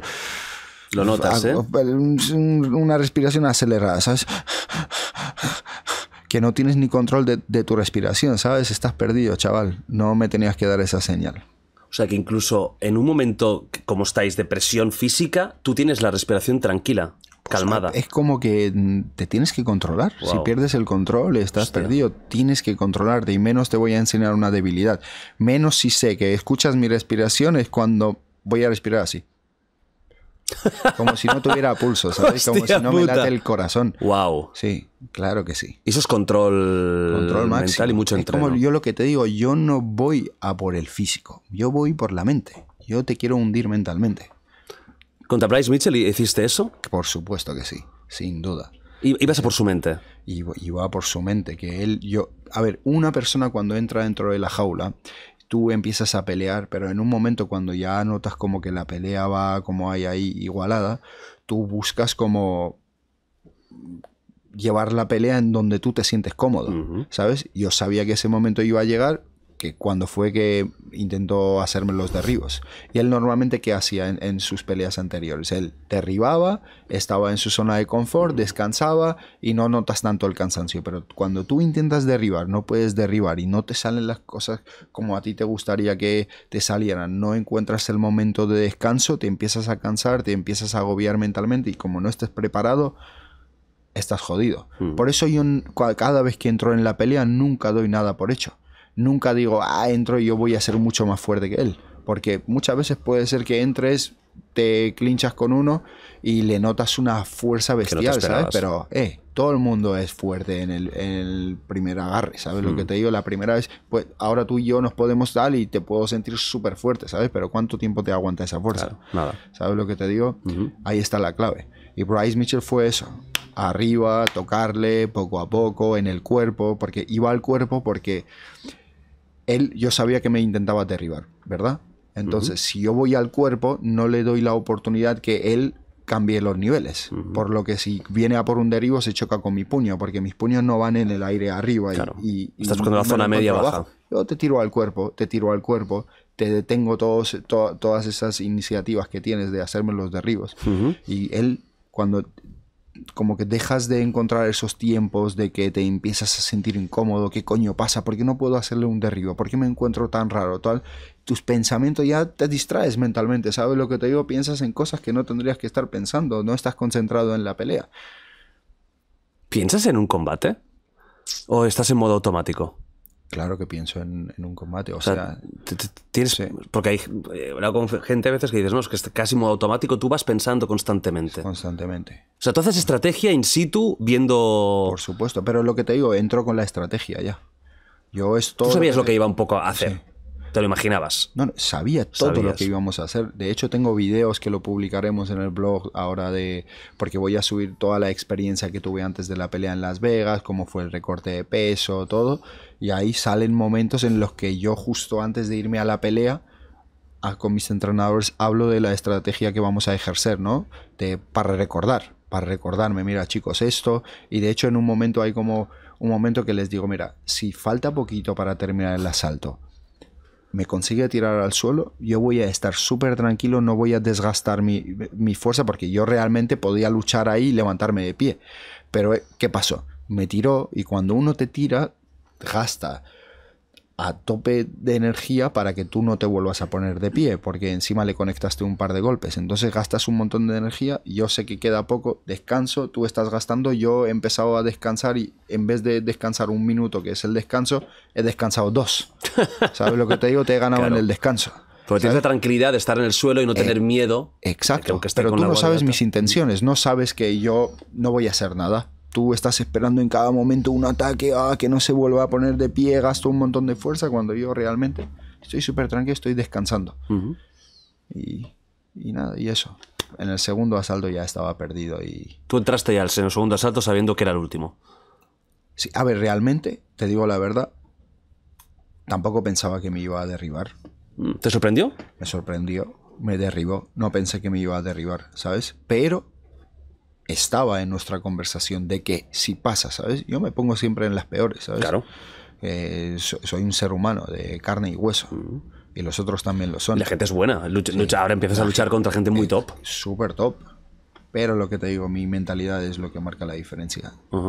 Sí, la única forma que tienen para ganarme cualquiera de la división ahora mismo es un golpe de, de suerte de puff. Me tal, O como Usman y Edwards, sí, ¿no? Es como, va, me apagaste. Porque no, no hay otra, es que no existe. No me van a ganar en nada. El tema de los careos, Sí. ¿no? Em, ¿Lo provocas un poquito? ¿Vas con mentalidad de ser desagradable para ellos, de vacilarles? Porque con, eh, con Mitchell tuviste tus más y menos. Porque y él no tiene pinta o no tiene fama, ¿no? De ser un tío de trash talk. De hecho, no creo que no habla mucho. No, no, y no está te con sus creas, es como. Yo, Engaña sí, un poquito. Yo siempre me dejo llevar por las energías. Ajá. Tú puedes hacer daño mm, con la boca callada, ¿sabes lo que te digo? Con la mirada. Tú puedes estar callado, pero Claro. meterte con la gente. Y él es una persona que un poco engaña, ¿sabes lo que ¿Ah? te digo? Es como, parece calladito, pero no es tan calladito, ¿sabes lo que te digo? Como que te intenta como transmitir una seguridad como a tope tal. Y yo era como, en el pesaje, en, en el careo en la rueda de prensa, si yo no le decía nada, le digo, bueno, digo, si te ves como un príncipe, qué guapo has venido hoy. Claro. Rubito, ¿eh? Claro, digo, claros, típica que- imagen americana. Claro, ¿eh? digo que digo, has venido hecho un príncipe. digo, qué guapo que estás. Y él mirándome todo serio y tal. Y dice, ¿qué te pasa? ¿Qué te pasa, loco? Claro, también es forma parte un poco ¿no? de vender, claro. Claro que sí. A ver, también, pero lo que te digo, es parte de vender, pero nos vamos a pegar. eh, llámalo como quieras, ¿sabes? No, no, no, nos vamos a intercambiar puñetazos. Sí, te voy a Entonces- intentar matarte ahí dentro. Sí, te voy a intentar reventar. A ver, Eso da- dalo por hecho, ¿sabes lo que te digo? Si en algún momento dicen, bueno, vale, mm, valen piedras y me tiran una, pues te la meto, ¿sabes lo que te digo? Lo que sea, ¿eh? Coge un cuchillo, Claro, una pistola. nah. Eso ya no, ¿eh? Pero depende de dónde ya te no. metas, cuidado, ¿eh? Sí, sí, no, eso no, pero... Bueno, uno, que, uno con el que sí que a lo mejor habría alguna pistola o algún cuchillo. Paddy Pimblett. No, A ver, ¿qué pasa con Paddy? O sea, primero, ¿de dónde nace esa enemista? Que, que ya, ya son varios conatos. Em, ¿qué, qué pasa con él? Mira, él un día tuvo como un intercambio en Twitter, una discusión con un compañero mío Ajá. que también pelea en, en la UFC, que es Kuram. Ujú. Y él dijo, le, le puso como, ahora entiendo por qué, por qué los rusos bombardearon Georgia, porque, so- porque sois unos tontos. ¿Sabes? Y es como que en 2008 yo viví en Georgia, viví toda la situación esa de mierda de que fallecían padres de amigos, que venían pues niños de las ciudades donde más ataques ejercían todo y el susto de todos mis familiares, de todo. Entonces, como gastar una broma so- sobre algo como eso, no sé, me parece como inhumano. Es como ahora mismo la guerra entre Rusia y Ucrania y que uno ponga, ahora entiendo por qué los rusos le tiran bombas, porque los ucranianos son unos tontos, pero es para matarte, ¿sabes lo que te digo? Es para cogerte y reventarte. Da igual si eres un showman, lo que sea, esas cosas no. ¿Sabes lo que te digo? No. Hay límites, ¿no? Sí, hay límites como tipo, hay formas de ganar el dinero, ¿sabes lo que te digo? Ya. Y fue eso, y yo le puse como, bueno, si algún día te veo, de mi parte tendrás una respuesta. Y él como, ay, no vas a ser una mierda, tal cual. Vale, vale, tranquilo. En Londres lo vi, salí, me dijeron, esta padilla, y dije, ah, vale, tal. Y, y pena que tenía la botella vacía, se la tiré en cara y, y ahí, ahí nació todo. Y ahora... O sea, no, no, no había teatro ahí. Realmente hay- había una animadversión No, real. no, que va, había... Para ti fue una falta de respeto tan que tenías que hacer luego, algo. luego él pidió perdón, pidió disculpas, que no estaba consciente de lo que estaba hablando y, y ya. Pero bueno. ¿Te las crees? Él, seguro que me las creo, porque él como que si no has vivido en la guerra y, y la guerra de Georgia con, con- con Rusia no fue tan conocida, no no fue como la de Ucrania, ¿sabes lo que te digo? Como ahora. Y él pues no, no tenía ni idea, ¿sabes lo que te digo? Seguro que ahora no gastaría esa broma. Entonces, nada, de ahí nació, nació y luego nos vimos, tuvimos ese intercambio y ahora vamos a ver, porque a lo mejor nos ponen como los entrenadores en el, en el TUF, en la próxima. Sí, En el ser. después de Sí, con la- McGregor y. Sí, sí, sí, podría ¿Qué ser- podría ser Paddy y yo como entrenadores No. y luego pelear con él. Sí. Sí, él lo dijo ahora en el último podcast también que hizo, que me pasaron como un, Uh. un corto de que él dijo que quería, que quería tipo hacer el, el TUF conmigo, pero que hubiera seguridad 24/7. Bueno, ¿ya habéis tenido algún, algún enganche? Sí. Una rueda de prensa, tuvisteis un enganche hace, hace unos mesecitos, ¿eh? Claro Ya que os sí, enganchasteis como otra esta- vez. estar en una mesa sentado con él y que hable, ¿sabes? Pues Prefiero hablar yo. Y te reías de él, decías, "Ba, ba, ba", que no Claro, entiende lo que como, dices, ¿no? Cállate la boca, ¿sabes? Que no estoy aquí para escucharte, ¿sabes? Me das totalmente igual. O sea, te cae mal de verdad. Me cae mal de verdad. Te, te cae como el me, culo, me vamos. cae como el culo, ¿sabes lo que te digo? De verdad. me cae como el culo. Si viene, pide disculpas, tal, así. Una vez terminemos nuestras carreras, Podrías. igualmente, no sé, amigo, no lo sé, pero verlo y no decirle nada puede ser, porque ahora mismo estoy como. Me irrita, O ¿sabes? sea, ahora yo digo que pase Paddy y Sí. aparece por aquí, ¿qué pasaría? Ahora mismo. Sí, aparece y entra. Buah. Hello, folks. Pues igual te quedas sin estudio. igual te quedas sin estudio. Habría, habría, habría algún problemilla por ahí. sin. Nacho, Nacho, vas a recibir seguro, ¿eh? Daño colateral. Nacho pilla seguro, o sea. Va, Necesitamos a Nacho para enterrar a Paddy. Oye, sería increíble lo, lo- lo de Ultimate Fighter. O sea, porque todos tenemos ganas de ese combate. Yo te soy sincero, para mí no tiene ningún sentido a nivel de, de- de Profesionalidad. niveles. Para mí no tiene Sí, ningún sentido. sí. O sea, yo creo que es el tío más sobrevalorado, mm, pero con diferencia. No, no está sobre. ¿Quién dice que es bueno? Él. Sí, pero aparte, aparte del que has escuchado a alguien decir. No, que ahora ya no. Pero al principio sí que es verdad que es la gran La gente dice, no, está sobrevalorado. No, justamente diciendo eso lo está sobrevalorando. ¿Ganó su último combate? No, claro No. que no ganó. Claro que no ganó, por supuesto que no ganó. La perdió, pero bueno, también te digo una cosa. Mejor que haya como personas como Paddy, porque le dan como más reconocimiento al deporte y todo, y, y al chaval, el chaval me, me puede caer fatal, pero al deporte le viene bien. ¿Sabes lo que te digo? Entonces, una cosa no quita la otra. Yo no le... Que Dios bendiga a todos. No, y le he Yo- escuchado cosas interesantes. ¿eh? Lo, de, lo del, por ejemplo, del peso.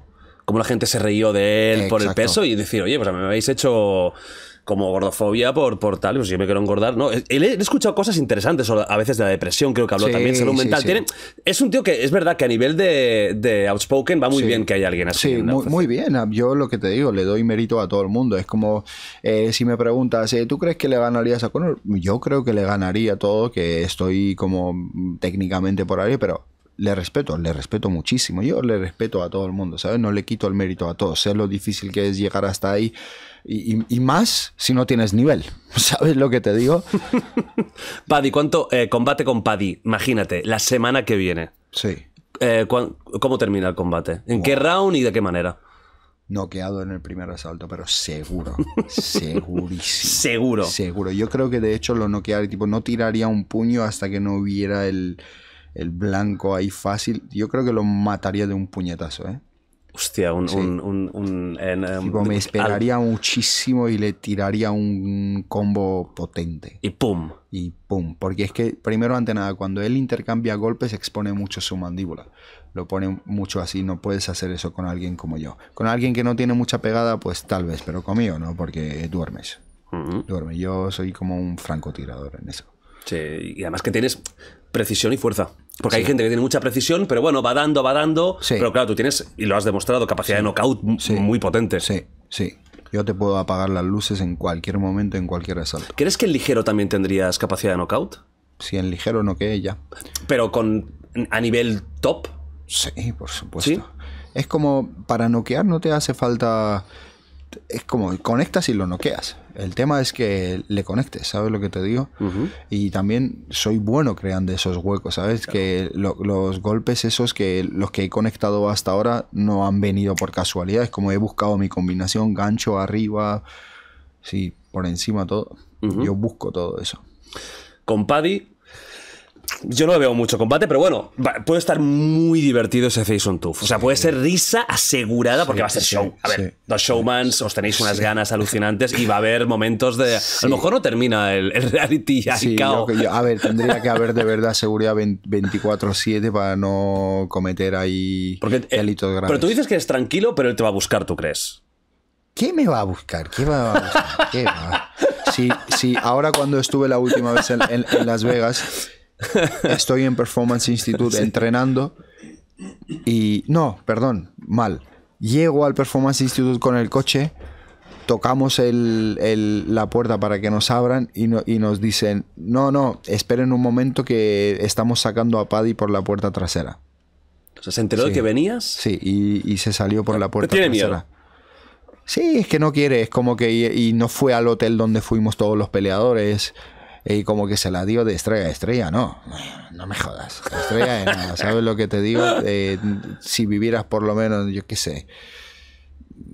A mí no me da miedo a nadie, voy, voy donde están todos, ¿sabes? Claro. Donde tengo mis obligaciones de ir, quedar con la gente, firmar los carteles, los chequeos, todo, y, y menos por Paddy voy a pegar mi viaje, ¿sabes lo que te digo? Claro. Me quedo ahí y ya está. Y que pase lo que tenga Y que pasar. que si me encuentro a Paddy, pues mm, que esté preparado. A mí me da igual, ¿sabes lo que te digo? Yo solo me puedo puede ir con todo el equipo de Liverpool, si quieres, ¿sabes lo que te digo? Pero tú de entrada, si lo vieras, ya irías a buscarle físicamente o, pa- o pasarías. Estarías un poco apartado y. y- Pero ¿cómo le voy a dejar pasar? A mí, no, tienes a mucha gente en tu vida que te vacila, tipo tal. No, Que tú lo veas, que le des... No, claro, eh, pero que no, que lo vea, Que, no, que claro. tipo un youtuber que Sí, sí, también que te... mi cara que, que- esté que todo el que día. tipo te vacila, Claro. ¿no? El- que si tienes a alguien, pues dices, mira, vale, perfecto. El día que te vea, pues me da igual. Si estás consciente... Marcha atrás no voy a dar. Matarme, cabrones, ¿sabes lo que te digo? Matarme. Pero mi marcha atrás de que Ilia dio la, nos dio la espalda y se fue corriendo por la puerta, eso no, no va a pasar. Bueno, tenemos al, al tema de Paddy. Luego, vamos a por el siguiente combate. Están habiendo muchos rumores de que podría ser Brian Ortega. Sí. Y a él se le ha preguntado y a él de alguna forma ha dicho. Y Brian, Brian entiende el español perfectamente. Es un pelele. Es un pe- pelele. Pero vamos a ver, mira, vamos a ver. Yo ahora mismo, hablemos con los hechos, ¿no? Dice, no, no lo conozco mucho. Os ha dicho Brian Eh, Ortega. sí, sí, ha, ha dicho Brian, el... No quiero aquí en tu podcast usar palabrotas. No, puedes decir, hombre, pues una, una se permite. Venga, suéltalo ahí. que, que no sabe mucho de mí y que si subo en los rankings y si la UFC quiere, no yo, si la UFC quiere, pues esa pelea se hace. Primero ante nada. Vienes de perder tres peleas por paliza. ¿Sabes lo que te digo? ¿Cómo que cuando suba en los rankings? Cuando yo suba en los rankings, tú ni me vas a interesar. ¿Sabes lo que te digo? Tienes la oportunidad de tu vida de pelear conmigo y ahora de que subas, suba de que si vinieras de tres victorias, de que eh, has ganado tus peleas bien, bueno, te, entiendo, no digo nada, pero pierdes las tres peleas. Vengo de ganar cinco peleas dentro de la UFC, finalizo a- a todo el mundo. ¿Y tú quién eres para decirme de que ah, cuando subas en los rankings te peleo? ¿Sabes lo que te digo? Si no quieres pelear, dilo directamente. Mira, chicos, eh, no quiero pelear porque es una pelea arriesgada. Él es el número 9 y yo qué sé, quiero intentarlo la última vez, aunque me, hay- me hayan metido tres veces una paliza, pues una vez más. Mucho más considerable esa excusa que decir que no me conoces. ¿Cómo no me vas a conocer? Entonces que eres un pringao, que no me conoces, que no le prestas atención a tu trabajo. Yo conozco a todo el mundo. No, no, no es que conozca a todos dentro de la UFC, los conozco fuera de la UFC. ¿Sabes lo que te digo? Sigo a todo el mundo, veo los combates, todo. ¿Cómo vas a decir que no me conoces? Tipo, te haces quedar como un retrasado tú, porque todo el mundo sabe que me conoces y si no me conoces, o sea, peor todavía, porque no, no- no estás bien de la cabeza. ¿En qué estás? ¿Sabes lo que te digo? no eres Si estás- profesional, sí, que no eres un profesional. Si no estás en tu trabajo y no sabes el número 9 que está detrás de ti ahí, que te está pisando los talones, entonces, ¿de qué profesionalidad me estás hablando? ¿Sabes? Te estás declarando como un antiprofesional que fue por lo que perdiste las tres peleas, porque eres un antiprofesional.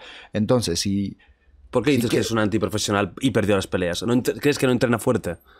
No, no sé qué es lo que, lo, lo- que ha hecho, pero lo que me está demostrando a la hora de hablar por el desconocimiento que se quiere dar y tal, pues no sé, una persona muy inteligente no parece. ¿Te lo crees que no, que no sabe mucho de ti? Que me lo creo que claro que no pero sabe eso es que, que- que eso que eso es lo peor yo siempre intento quedar como una persona inteligente no intento jugar como un tonto nunca nunca quiero que nadie tenga un- un- una un- no sé Sí, como una idea sí de... que la no sé, me conciban De como que un eres un tonto. atontado, de que no te yo enteras de las quiero que me cosas. vean que como un listo, ¿sabes? Claro. Un tío listo y, y él juega un papel de tonto. Bueno, pues ¿Te da miedo conocerme en, en la jaula? Dile, dile, dile, dile, dile. La- tu cámara es esta. Dile a Brian algo. Por supuesto, ¿te da miedo conocerme en la jaula? Si no te da miedo, vamos a pelear donde tú quieras. Yo no tengo ningún problema. Yo firmo el contrato verano, verano. Pues buenas vacaciones que me van a esperar después de aplastarte la cabeza de retrasado, de verdad. De menos a más, ¿eh? Pero por supuesto. Hostia. Me encantaría. ¿Pelearías en México? Por supuestísimo. Yo amo México. México es como... Con la hinchada en Eh, contra te daría igual. Es que he peleado todos estos años fuera de casa siempre con, por eh, con un inglés en Inglaterra, con un americano en Las Vegas, con nunca he peleado en España, ¿sabes lo que te digo? No he peleado en mi casa, por eso es de mis mayores sueños de traer la UFC a España y tener toda la hinchada, ¿sabes? A mi favor, ¿sabes? Que salga y la gente me apoye a mí de verdad, porque siempre cada vez que salgo es como, bu, bu, bu, estoy acostumbrado, no pasa nada, eso No no, no- me quita la victoria, ¿sabes lo que te digo? Los fans no van a pelear por él. Si hay combate con, con Brian, ¿cómo lo ves finalizándoles? En el primer asalto noqueándolo. No, pero de verdad es que... No lo- es una yo, yo- van a ver, a medida que el nivel de competición suba, a mí me van a ver mucho mejor, porque a mí me cuesta mucho menos pelear con gente técnica que gente que imprescindí que no sabes qué, qué va a hacer, sabes que no tiene un estilo definido, nada, es como, ¿de dónde coño me va a venir este tío? ¿sabes? Claro. Que con uno que intenta hacer las cosas como más o menos bien, ¿sabes? No- lo noquearía aparte. Derribos no tiene. Nada, cero, no Y derribos. tú tienes una defensa takedown Sí. impresionante. Por favor. Es- claro, eso Él no- no es un. eh, Bryce Mitchell es un tipo. Era un tipo duro. Mm. Y, y tenía un background de lucha súper fuerte. ¿Sabes lo que te digo? Y de 10 intentos o de 8 que me hizo, me derribó una vez. Y Mm. me sorprendió. Bravo. Brian Ortega te digo que no me va a tirar. En boxeo, pega papitas, camina para atrás. eh, recibe paliza con todo el mundo. Yo no pego como Max Holloway, no pego, ni pego ni como Volkanovski. Yo te pego y te hago daño, de verdad. Y te mando a dormir. ¿Sabes? Esa es la diferencia entre mí y el resto de, de todos.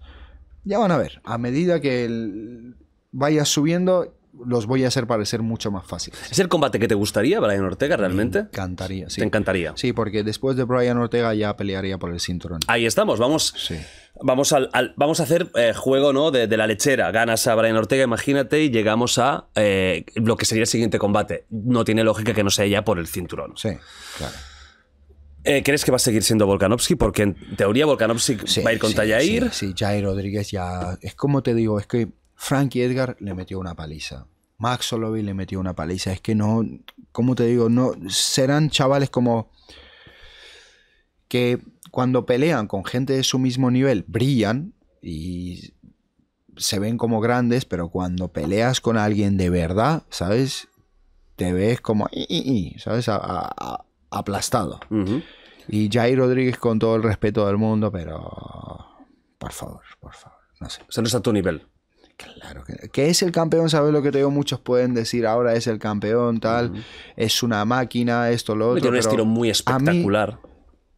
la- la- el pensamiento de quién es el que me importa. Mío propio. La gente puede pensar que el otro es King Kong, eh, no sé, Hulk, lo que quieras. Yo sé quién es, ¿sabes lo que Ajá. te digo? Sí, ha llegado donde ha llegado, pero O sea, ¿crees que. Volkanovski ganar- ganaría Sí, un- sí. de Volka- 10 Volka- veces? Ey, eh, Volkanovski me sorprendió con Mahachev, ¿eh? Sí. Me sorprendió Me gustó muchísimo, mucho. ¿eh? A mí también, ¿eh? Lo hizo muy bien, ¿eh? Y en una revancha no sé yo qué decirte, ¿eh? porque creo Sí. que le iba pillando el tono a medida pasaba el combate. Sí, Volkanovski sí, fue... No, y, y puede ser que en la revancha Mahachev lo tenga complicado porque, quieras o no, se metió en el, en el combate y Mahachev tenía un hype completamente diferente de... ¿Sabes lo que te digo? Sí. Y ahora ya lo probó, ya sabe lo que, lo que hay. Pero aún así, no es, no es un tipo finalizador, ¿sabes lo que te digo? Volkanovski es un tipo que es súper rápido, entra, sale, defiende bien los derribos, todo, pero no tiene esa pegatina en las manos, ¿sabes lo que te digo? Que eso te causa mucho respeto. No te deja trabajar tan fácilmente. Cuando tú estás enfrente de un tío que sabes que, uff, eh, una mano y puedo dormir, a estar con uno que sí es muy técnico, pero sus manos, pues me, me la como y no pasa nada. Y ese respeto, pues. ¿Te ves contra Volkanovski? Es como que sí me veo contra Es decir, ¿crees que el combate eh, Ilia Topuria-Volkanovski se va a dar? 100%. De hecho, 100%. De hecho, ¿sabes lo que te digo? Volkanovski antes de que vaya a pelear conmigo se va a defender todas las defensas que le toque, si Jai Rodríguez, no sé si le tocará una, una más, y ya conmigo le toca perder, es como el destino. Ya lo vi, ya lo vi en mis sueños. Que Volkanovski va a perder contra Sí, yo siempre cada vez que él pelea, yo le rezo que gane, porque quiero el día que yo llegue a arrebatarle el título a alguien bueno, de verdad que ya ha defendido, ha demostrado que es el mejor de la división, para que no vayan dudas después. ¿sabes lo que te digo? Llegué, te destroné, quedó claro, ¿no? Os metí una paliza a todos. Y ahora estoy yo, chicos. Tranquilos. Esto ya lo tienes visualizado. Volkanovski, por eso, ¿ves el combate difícil ahí?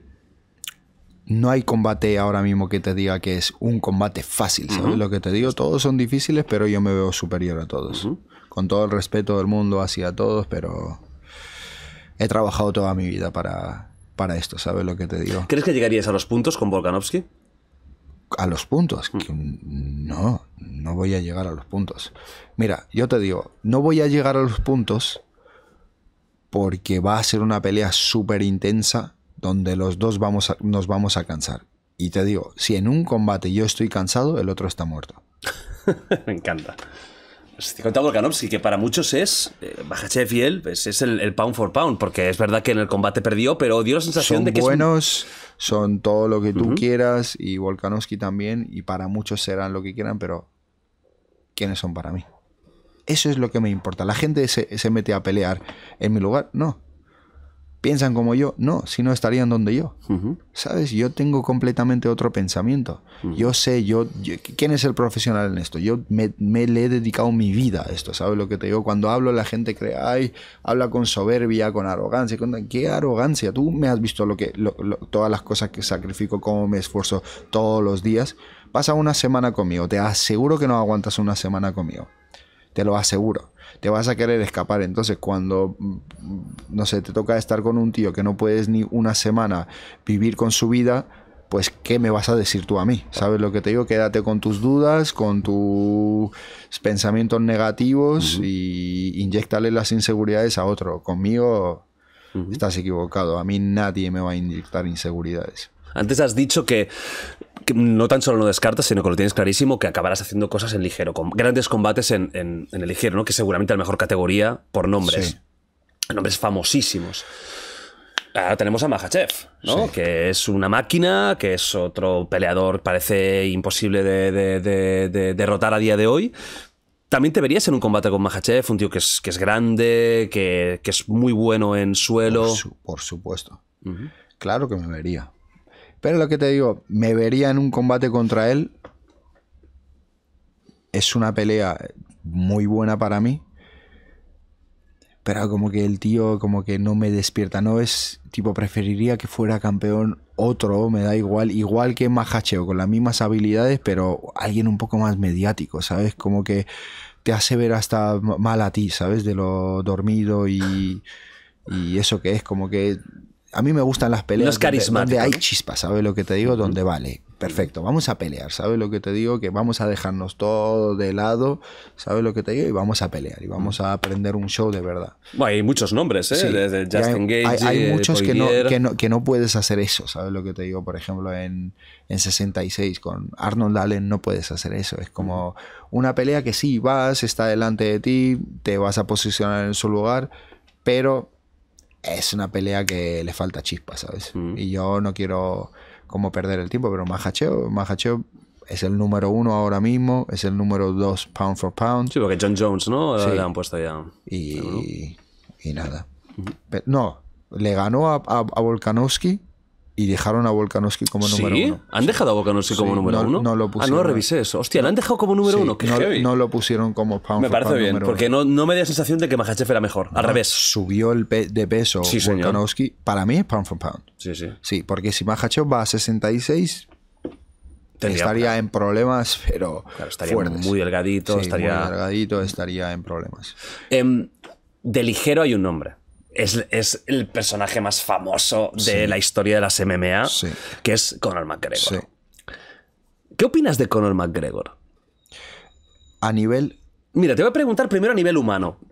Porque creo que fue Gonzalo Campos que me dijo que tú un día lo viste y te dio mala, mala vibra. super mala vibra. Aparte de ya, no, no hablamos de luchador, como ser humano te dio como una sensación extraña. ¿Qué, qué pasó ahí? Es que mira, yo lo que te digo, analizando a las personas como ser humano, ¿no? Analizando a Connor. Un hombre, su mujer, sus hijos, su familia. No puedo opinar, ¿sabes lo que te digo? No sé cómo es un ser humano. A lo mejor es una excelente persona y yo tuve la percepción de su energía completamente diferente a lo que es y él vino a trabajar, a poner su show y todo. Pero la sensación que me dio en el momento que yo lo vi fue como no, tipo, aléjenlo, ¿sabes? Aléjenlo porque seas Conor McGregor, seas quien seas, eh, yo no siento que nadie está por encima de mí, solamente Dios, ¿sabes lo que te digo? Entonces, te felicito por todo, respeto, pero no me digas nada porque te cruzo la cabeza, ¿sabes? ¿Te, dio esa sensación como Sí, de dio- superioridad? de- No, no, no, super mala energía. prepotencia. Te lo prometo que como un aura de, de- de- de infierno, ¿sabes lo que te digo? Como no quiero estar cerca de este tío, como una energía negra. Nunca en mi vida había sentido eso. Y mi entrenador me dijo, Agustín, que es bastante así, tipo súper espiritual, y él siempre cuida las energías y todo, y él me dijo, este tío va a perder feo, y se partió la pata, ¿sabes lo que te digo? El combate. Se partió la- Es que tenía. Traía una energía de, de infierno, ¿sabes lo que te digo? ¿Llegasteis en algún a hablar o, o simplemente lo viste? No, no, eh, lo veía porque estábamos en el momento de la promoción, pues íbamos al pesaje, íbamos a, a los sitios, a firmar las cosas, lo veía, ¿sabes lo que te digo? Pasar por el hotel, tal, ahí cuando. con su venía. troupe. Sí, él venía y estaba ahí. Uno más, pero lo que te digo, la energía era malísima. Ahora no sé cómo será. Y como ser humano, pues no puedo opinar porque no, no, no he vivido nunca con él. ¿Te gustó su trash talk tan agresivo con- contra Javi, por ejemplo? ¿Crees que, que, que, bueno, dentro de lo que cabe era lo que se tenía que hacer o se pasó? Pasó límites. Con Javib. Sí. Se metió mucho con la religión, con su padre. ¿Se metió con la religión? Sí, sí, con la religión. ¿Que, que te recuerdas algún comentario? Ah, eh, bueno, él ha hecho muchos comentarios, incluso después de perder, dijo que su mujer, que iba con el hijab, no sé cómo se llama, que parecía una, una toalla, o que iba con una toalla tapada, y del, del padre. Ah, de, de- de- bueno, de Ali creo que dijo que era un espía, de, de la religión dijo... Sí, no me acuerdo exactamente te- de qué, pero te- se metió lo- con la religión, sí, seguro. Lo que te digo, te Iba muy a lo personal. Sí, te, te metas con la religión, lo que sea, meterte con la mujer de uno, lo más bajo que me parece, ¿sabes lo que te digo? Lo hizo con Poirier también. Sí, es que como que... Your wife is in my DMs. Sí, primero ante nada, fe- feliz día de la mujer a todas las mujeres. eh, Sí, porque esto lo grabamos el 8, M. claro que sí, a todas las mujeres valientes que son un ejemplo de lucha y entrega. Feliz día a todas. Primero ante nada, meterte con una mujer no es muy de hombre, ¿sabes lo que te lleva? Una toalla, sea gorda, flaca, tal. Es una mujer, hay que respetarla, ¿sabes lo que te digo? Y menos delante de todo el mundo. Por favor, que no es tu mujer, tú tienes la mujer que te gusta, ¿verdad? Porque te metes con, con, con las Con demás. Claro que es personal, ¿sabes lo que te digo? A, a- algunos se mete con mi mujer y es bastante personal, por eso te digo que mucha gente no sabe diferenciar, pero también a lo mejor venimos de diferentes culturas, de diferente respeto, los valores son diferentes a lo que nosotros tenemos y no sé. ¿Y como peleador a McGregor? ¿Crees que es un, un top histórico o no lo ves tan, tan, tan, tan bueno? Sí, es bueno, Conor McGregor es muy bueno, eh, tiene un striking súper bueno, tenía un striking súper bueno en su momento cuando tenía todos esos reflejos y hacía los, con- sí, los contraataques súper bien y pateaba bien. las giratorias y todo. en, en el suelo, obviamente, se sabía defender, pero nada, el wrestling tampoco. Pero lo que digo, su estilo era, era ese y lo hacía súper bien, ¿sabes? Es como, otra vez, nos vamos a basar en la filosofía de Bruce Lee. Si yo no le temo al hombre que practica 10.000 técnicas una vez, le temo al hombre que hace una técnica 10.000 veces. Él era súper bueno de pie y así fue como le ganó a todo el mundo. ¿El Conor Prime lo ganarías? Seguro. es que te lo digo segurísimo. Porque Conor Prime para mí sería como derribarlo fácil porque es que Chad Mendes, ¿sabes lo que te digo? Un tipo así te derribó. Eh, le dieron la pelea con una semana y media de antelación con Conor McGregor, ¿sabes lo que te digo? El tipo ni se preparó y le dio, hizo, un muy buen combate. Le, dio guerra, ¿sabes lo que te digo? Y yo no soy Chad Mendes. Ojalá que algún día suceda esa pelea. Me encantaría pelear. ¿Es una de las que te haría más ilusión? Ya no tan solo me entiendo por el tema económico, que eso ya es la money fight, pero ¿te gustaría por algo particular? Mira, una cosa que tal es que el tema económico es como yo sé que voy a ser de los que más pay-per-views va a vender en, toda la historia de la UFC. ¿En toda la historia? En toda la historia de UFC. Es Conor McGregor ahora mismo el número uno, ¿no? Yo te lo digo, yo tengo ahora acabo de empezar, tengo 26 años. Que es muy joven, ¿eh? Sí, déjame hasta los 30, ¿sabes? Tú no sabes en cuatro años eh, los tirones que voy a pegar y lo que va a pasar en mi vida y cuando haga los combates que todo el mundo espera que vaya a hacer y todo. Y ahora voy a irme a Estados Unidos, voy a perfeccionar mucho más mi, inglés, voy a conectarme mucho más con el público de ahí porque ahora mismo puedo hablar un poquito, sí, pero no puedo transmitir. En el momento cuando pueda, pueda transmitir lo que está dentro de mi corazón y lo que está en mi mente, pues a lo mejor creo una ficción diferente a, todo lo que ha habido hasta ahora. ¿Sabes lo que te digo? Y no de trust talk y tal, a lo mejor de valores y de respeto y completamente diferente, pero tampoco de, un tipo dormido. Sí, de ¿sabes sí, como un pringao, digamos, sí, ¿no? Sí, no, así, ¿sabes?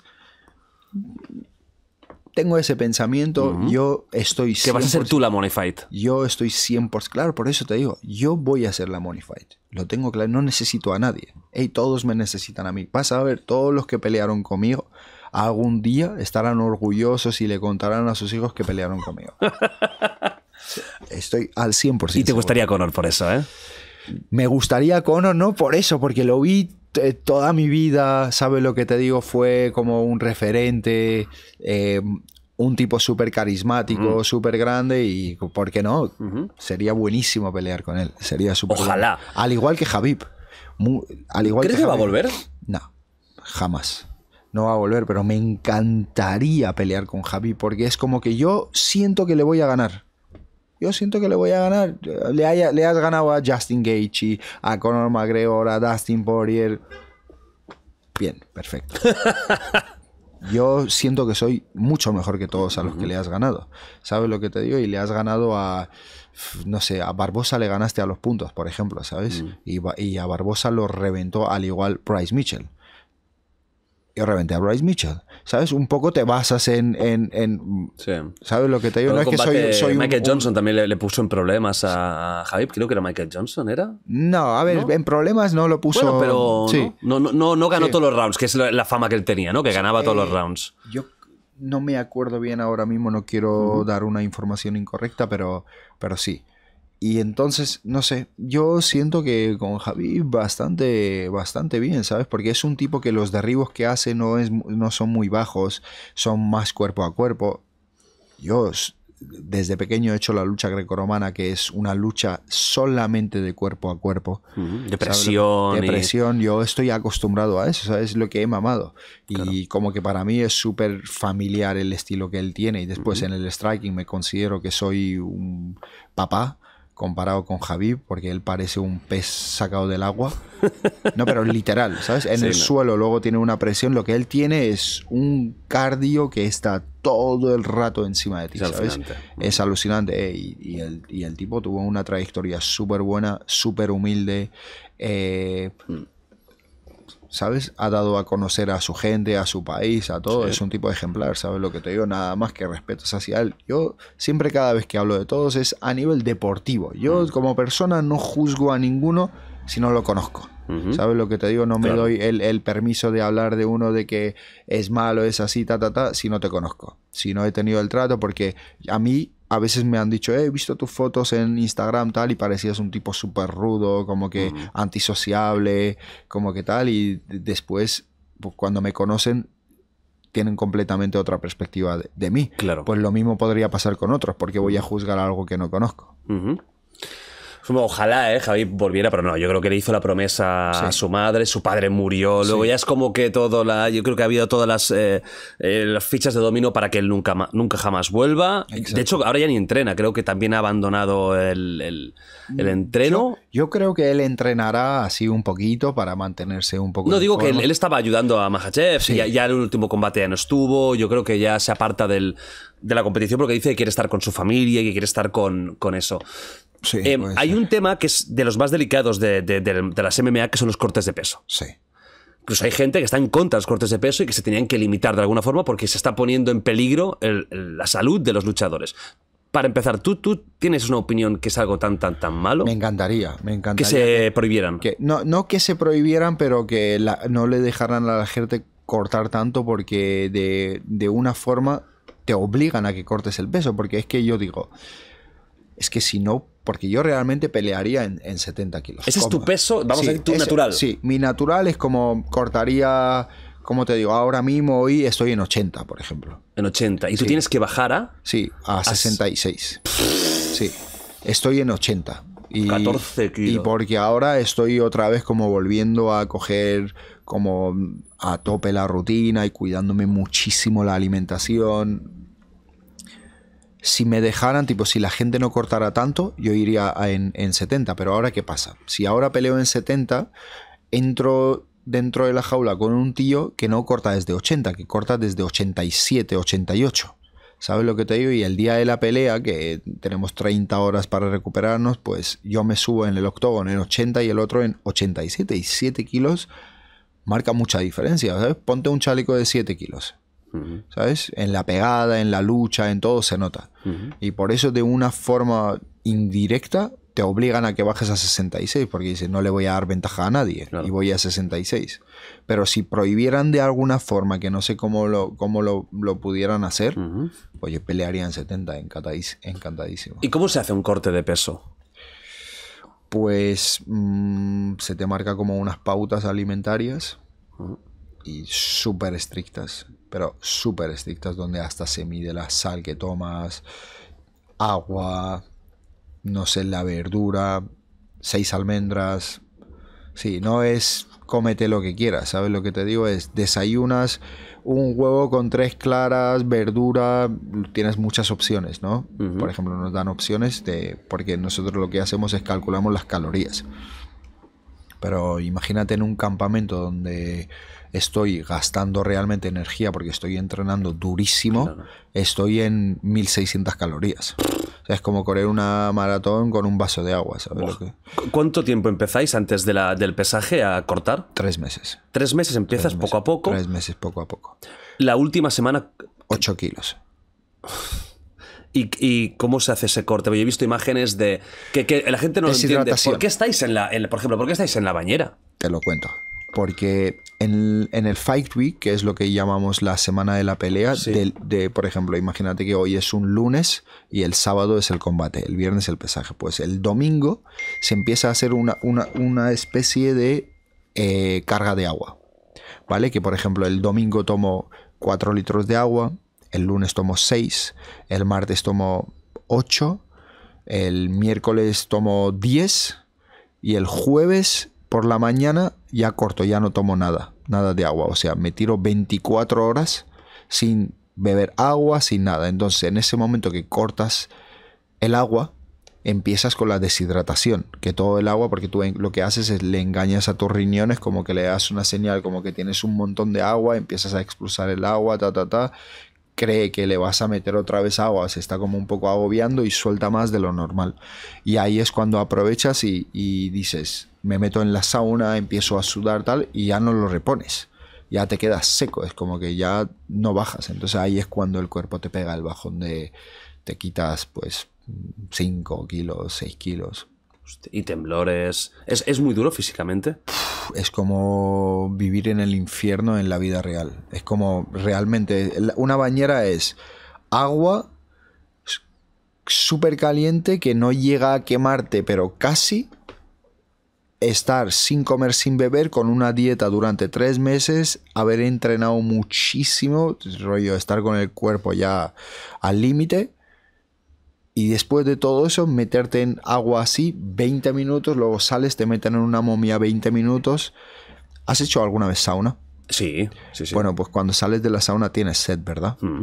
Y sales y bebes agua. Ujú. Pues tú imagínate que lleves horas sin beber agua, que lleves días comiendo prácticamente nada y que hagas la sauna, salgas, te metan en una momia, que te hagan una momia con es como un papel al bar, ¿sabes lo que te digo? Pero Sí, lo- como enrollados. Sí, lo que usan para cuando uno se quema, ¿sabes? Para taparlo. Haces eso, un descanso y tienes que hacerlo pues seis veces ocho. Imagínate entrar en la sauna 8 veces 20 minutos y 20 minutos en la momia. Tipo, te hace, no sé, uno son 40 minutos, tipo una sesión de sauna y tal, pues imagínate hacer 5. Buah. Eso mentalmente, como como cómo lo aguantas? La cabeza se te debe ir a todos lados, ¿no? Sí, es tipo duro y quieres abandonar y quieres abandonar y momentos muy duros y rezas y todo el mundo y ves como todo el mundo sufre, ¿sabes lo que te digo? Imagínate eh, alguien que quieres y está sufriendo y no puedes hacer nada para ayudarlo, pero no puedes hacer nada. Y ahí son momentos duros y la verdad que yo no soy alguien egoísta, entonces como que también sufro por los demás, ¿sabes? Porque como que los estoy exponiendo a que sufran, ¿sabes? A hacerlos partícipes de mi sufrimiento. Y son momentos duros, pero también lo que te digo, lo que viene después son momentos buenos y no hay gloria sin, sin dolor. Y cuando ya has hecho el pesaje, has dado, entonces, ¿qué hacéis para recuperar fuerzas? Lo primero que haces es te empiezas a hidratar con cosas especiales que te dan ahí los médicos y los nutricionistas. Y luego una vez empiezas a orinar ya normalmente como que tu cuerpo ya está hidratado, ya empiezas a meter la alimentación. Mm. Ya empiezas a meter la comida poco a poco, te tienen todo separado cada hora, luego cada dos horas y te dicen todo lo que tienes que comer y entonces imagínate, yo doy 66 hoy viernes por la mañana, pero el sábado cuando subo en la jaula estoy en 78. Es que, es que son. Es jugar con el físico de una manera increíble, ¿eh? ¿Y, y te notas bien? Cuando estáis a- a, um, el día de ya de combate, ¿estáis bien físicamente? Buah. Una pasada, ¿no? Claro, es que tú piensas que se hace todo hasta los entrenamientos las últimas semanas, como que son intensos para que sudes, pero no es un desgaste físico muscularmente que te mata, ¿sabes? Es como más continuo para que sudes y tal. Entonces el día de la pelea ya llegas tipo descansado, te hacen tu, tu sesión de fisioterapia, eh, tu conversación para estar mentalmente a tope, te has preparado, no sé, siento como que me tocas y te cortas. Estás ahí Estoy a con tope. un sí, monstruo. Muy, muy, y mentalmente estoy mm, ese día muy peligroso. ¿Sí? Sí, muy peligroso. Ese día estoy como intocable. A la que te digan algo o te dijeran algo. No, no, no, no eso, como estoy muy enfocado al 100%. Es que Es tu lo- momento. Lo, lo que me siento como un- muy peligroso. Es como un gladiador, ¿no? Sí, que, que me siento muy... Es que abren la jaula y. Es como tenerte atado durante tres meses y de repente te sueltan la correa, ¿sabes lo que te dice? Y dices, comes y ahora ya te toca lo, para lo que te preparaste, ¿sabes? Es como toda la rabia, todas las veces que fuiste a dormir, te metiste en la cama y visualizaste ese momento y con la victoria y te has preparado, ¿sabes lo que te digo? Ya, es, es- es el presente ahora, lo estás viviendo ahora mismo, disfrútalo. ¿Y tú que eres imbatido, alguna vez has pensado qué pasaría si perdieras? No. Nunca has llegado a pensar eso. No, es que confío en Dios, ¿sabes lo que te digo?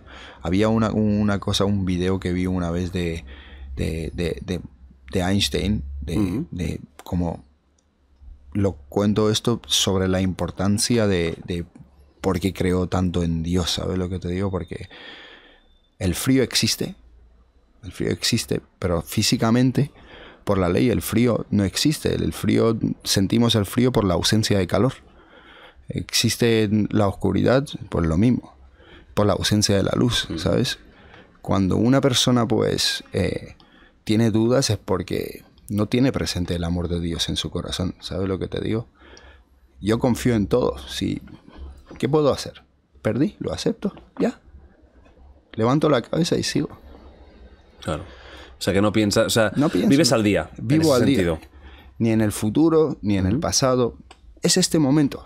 ¿Quién somos ahora mismo? Somos este momento, no somos otra cosa. Claro. Tú has hecho tus cosas en el pasado, tienes proyectos para el futuro. Yo igual, pero ahora mismo somos esto, no somos otra cosa. Entonces, ¿para qué pensar en, en cosas que no están en nuestras manos y dejar de disfrutar este, mo- este momento, ¿sabes? Oye, hay gente, hay gente que nunca. Bueno, hay, hay- casos de imbatidos. Mira, John Jones, que regresó, que para mí no perdió ese combate en su momento, creo que para nadie perdió, el de los codazos Sí, ilegales. claro. Él nunca ha perdido. No. ¿Viste el combate? Bueno, sí, claro. Sí, sí, sí. ¿Qué te pareció el retorno de John Jones? La locura, ¿no? Espectacular. ¿Pero eso qué Es que es lo que te digo, ahí es cuando realmente te das cuenta, ¿sabes? Que un tipo como Cyril Gané es súper bueno, todo lo que tipo, con- lo pones con Taito Ibasa, brilla, lo pones con John Jones, Parecía un niño. claro, eso es lo que te digo, es que hay niveles y niveles, ¿sabes? Lo que te digo, con otro puedes brillar y con otro se te puede venir todo abajo, ¿sabes lo que ¿Te digo? sorprendió por eso? No, yo sa- sabía que... ¿Cómo te digo?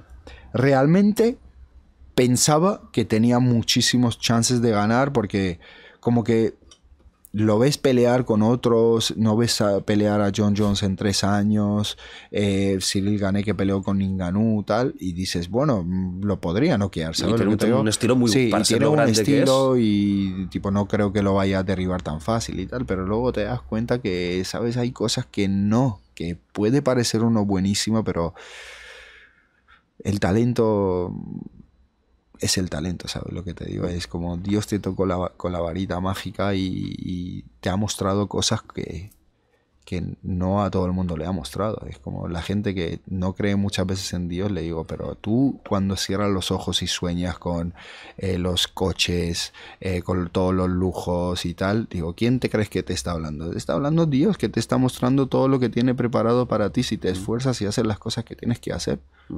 ¿Ya? John Jones también tiene mucho, eh, mucho pensamiento religioso. ¿Crees que es el mejor de la historia o si no, quién es para Sí, ti el sí, mejor sí, de la historia? ¿Es John Jones? ¿Más que George St. Pierre o que...? Sí, sí. Me- mira, ha- había visto el otro día una foto de John Jones y Habib, como que Habib tenía 14 peleas Ah, dentro la de la UFC también. y John Jones tenía 14 defensas del título dentro de la UFC. ¿Sabes de qué, de qué estamos hablando? Claro. ¿Sabes lo que te- ¿Es el mejor de la historia? Por supuestísimo lo es. Hay que quitarse el sombrerito así. Y por cierto, este Que esto, me- esto me lo has traído para mí, ¿eh? la gorra oficial de la UFC. ¿eh? Qué grande. Cuando traigas a UFC a España, me la voy a, me la voy a llevar y me la voy a poner. pero tienes que. pero te tienes- quiero ver con esa gorra, ¿eh? Hombre, tío, te quiero prometo, Miraré tienes- y, dir- y diré, ¿dónde está la gorrita de...? Pero tienes que traerla, ¿eh? ¿Qué? Quiero la UFC aquí. Lo voy a traer. Es, es Tiene que, ver, o sea, tiene que 100%. llegar. UFC en España. 100% va a llegar. Pero vamos, o sea, quiero esto. Sí. Y, y- y- y tiene que ser o para título o para defender título. In- es, va a ser inevitable que no venga a España. Inevitable. Tiene que, ¿Sabes lo sí, te digo? ya toca. Sí, Ya, que toca. tenemos a ti, tenemos que aprovechar para. Para coño, para. No, está- estamos trabajando de verdad. Lo que pasa que no es un tema tan fácil, ¿sabes? Lo que te digo de traer la UFC está.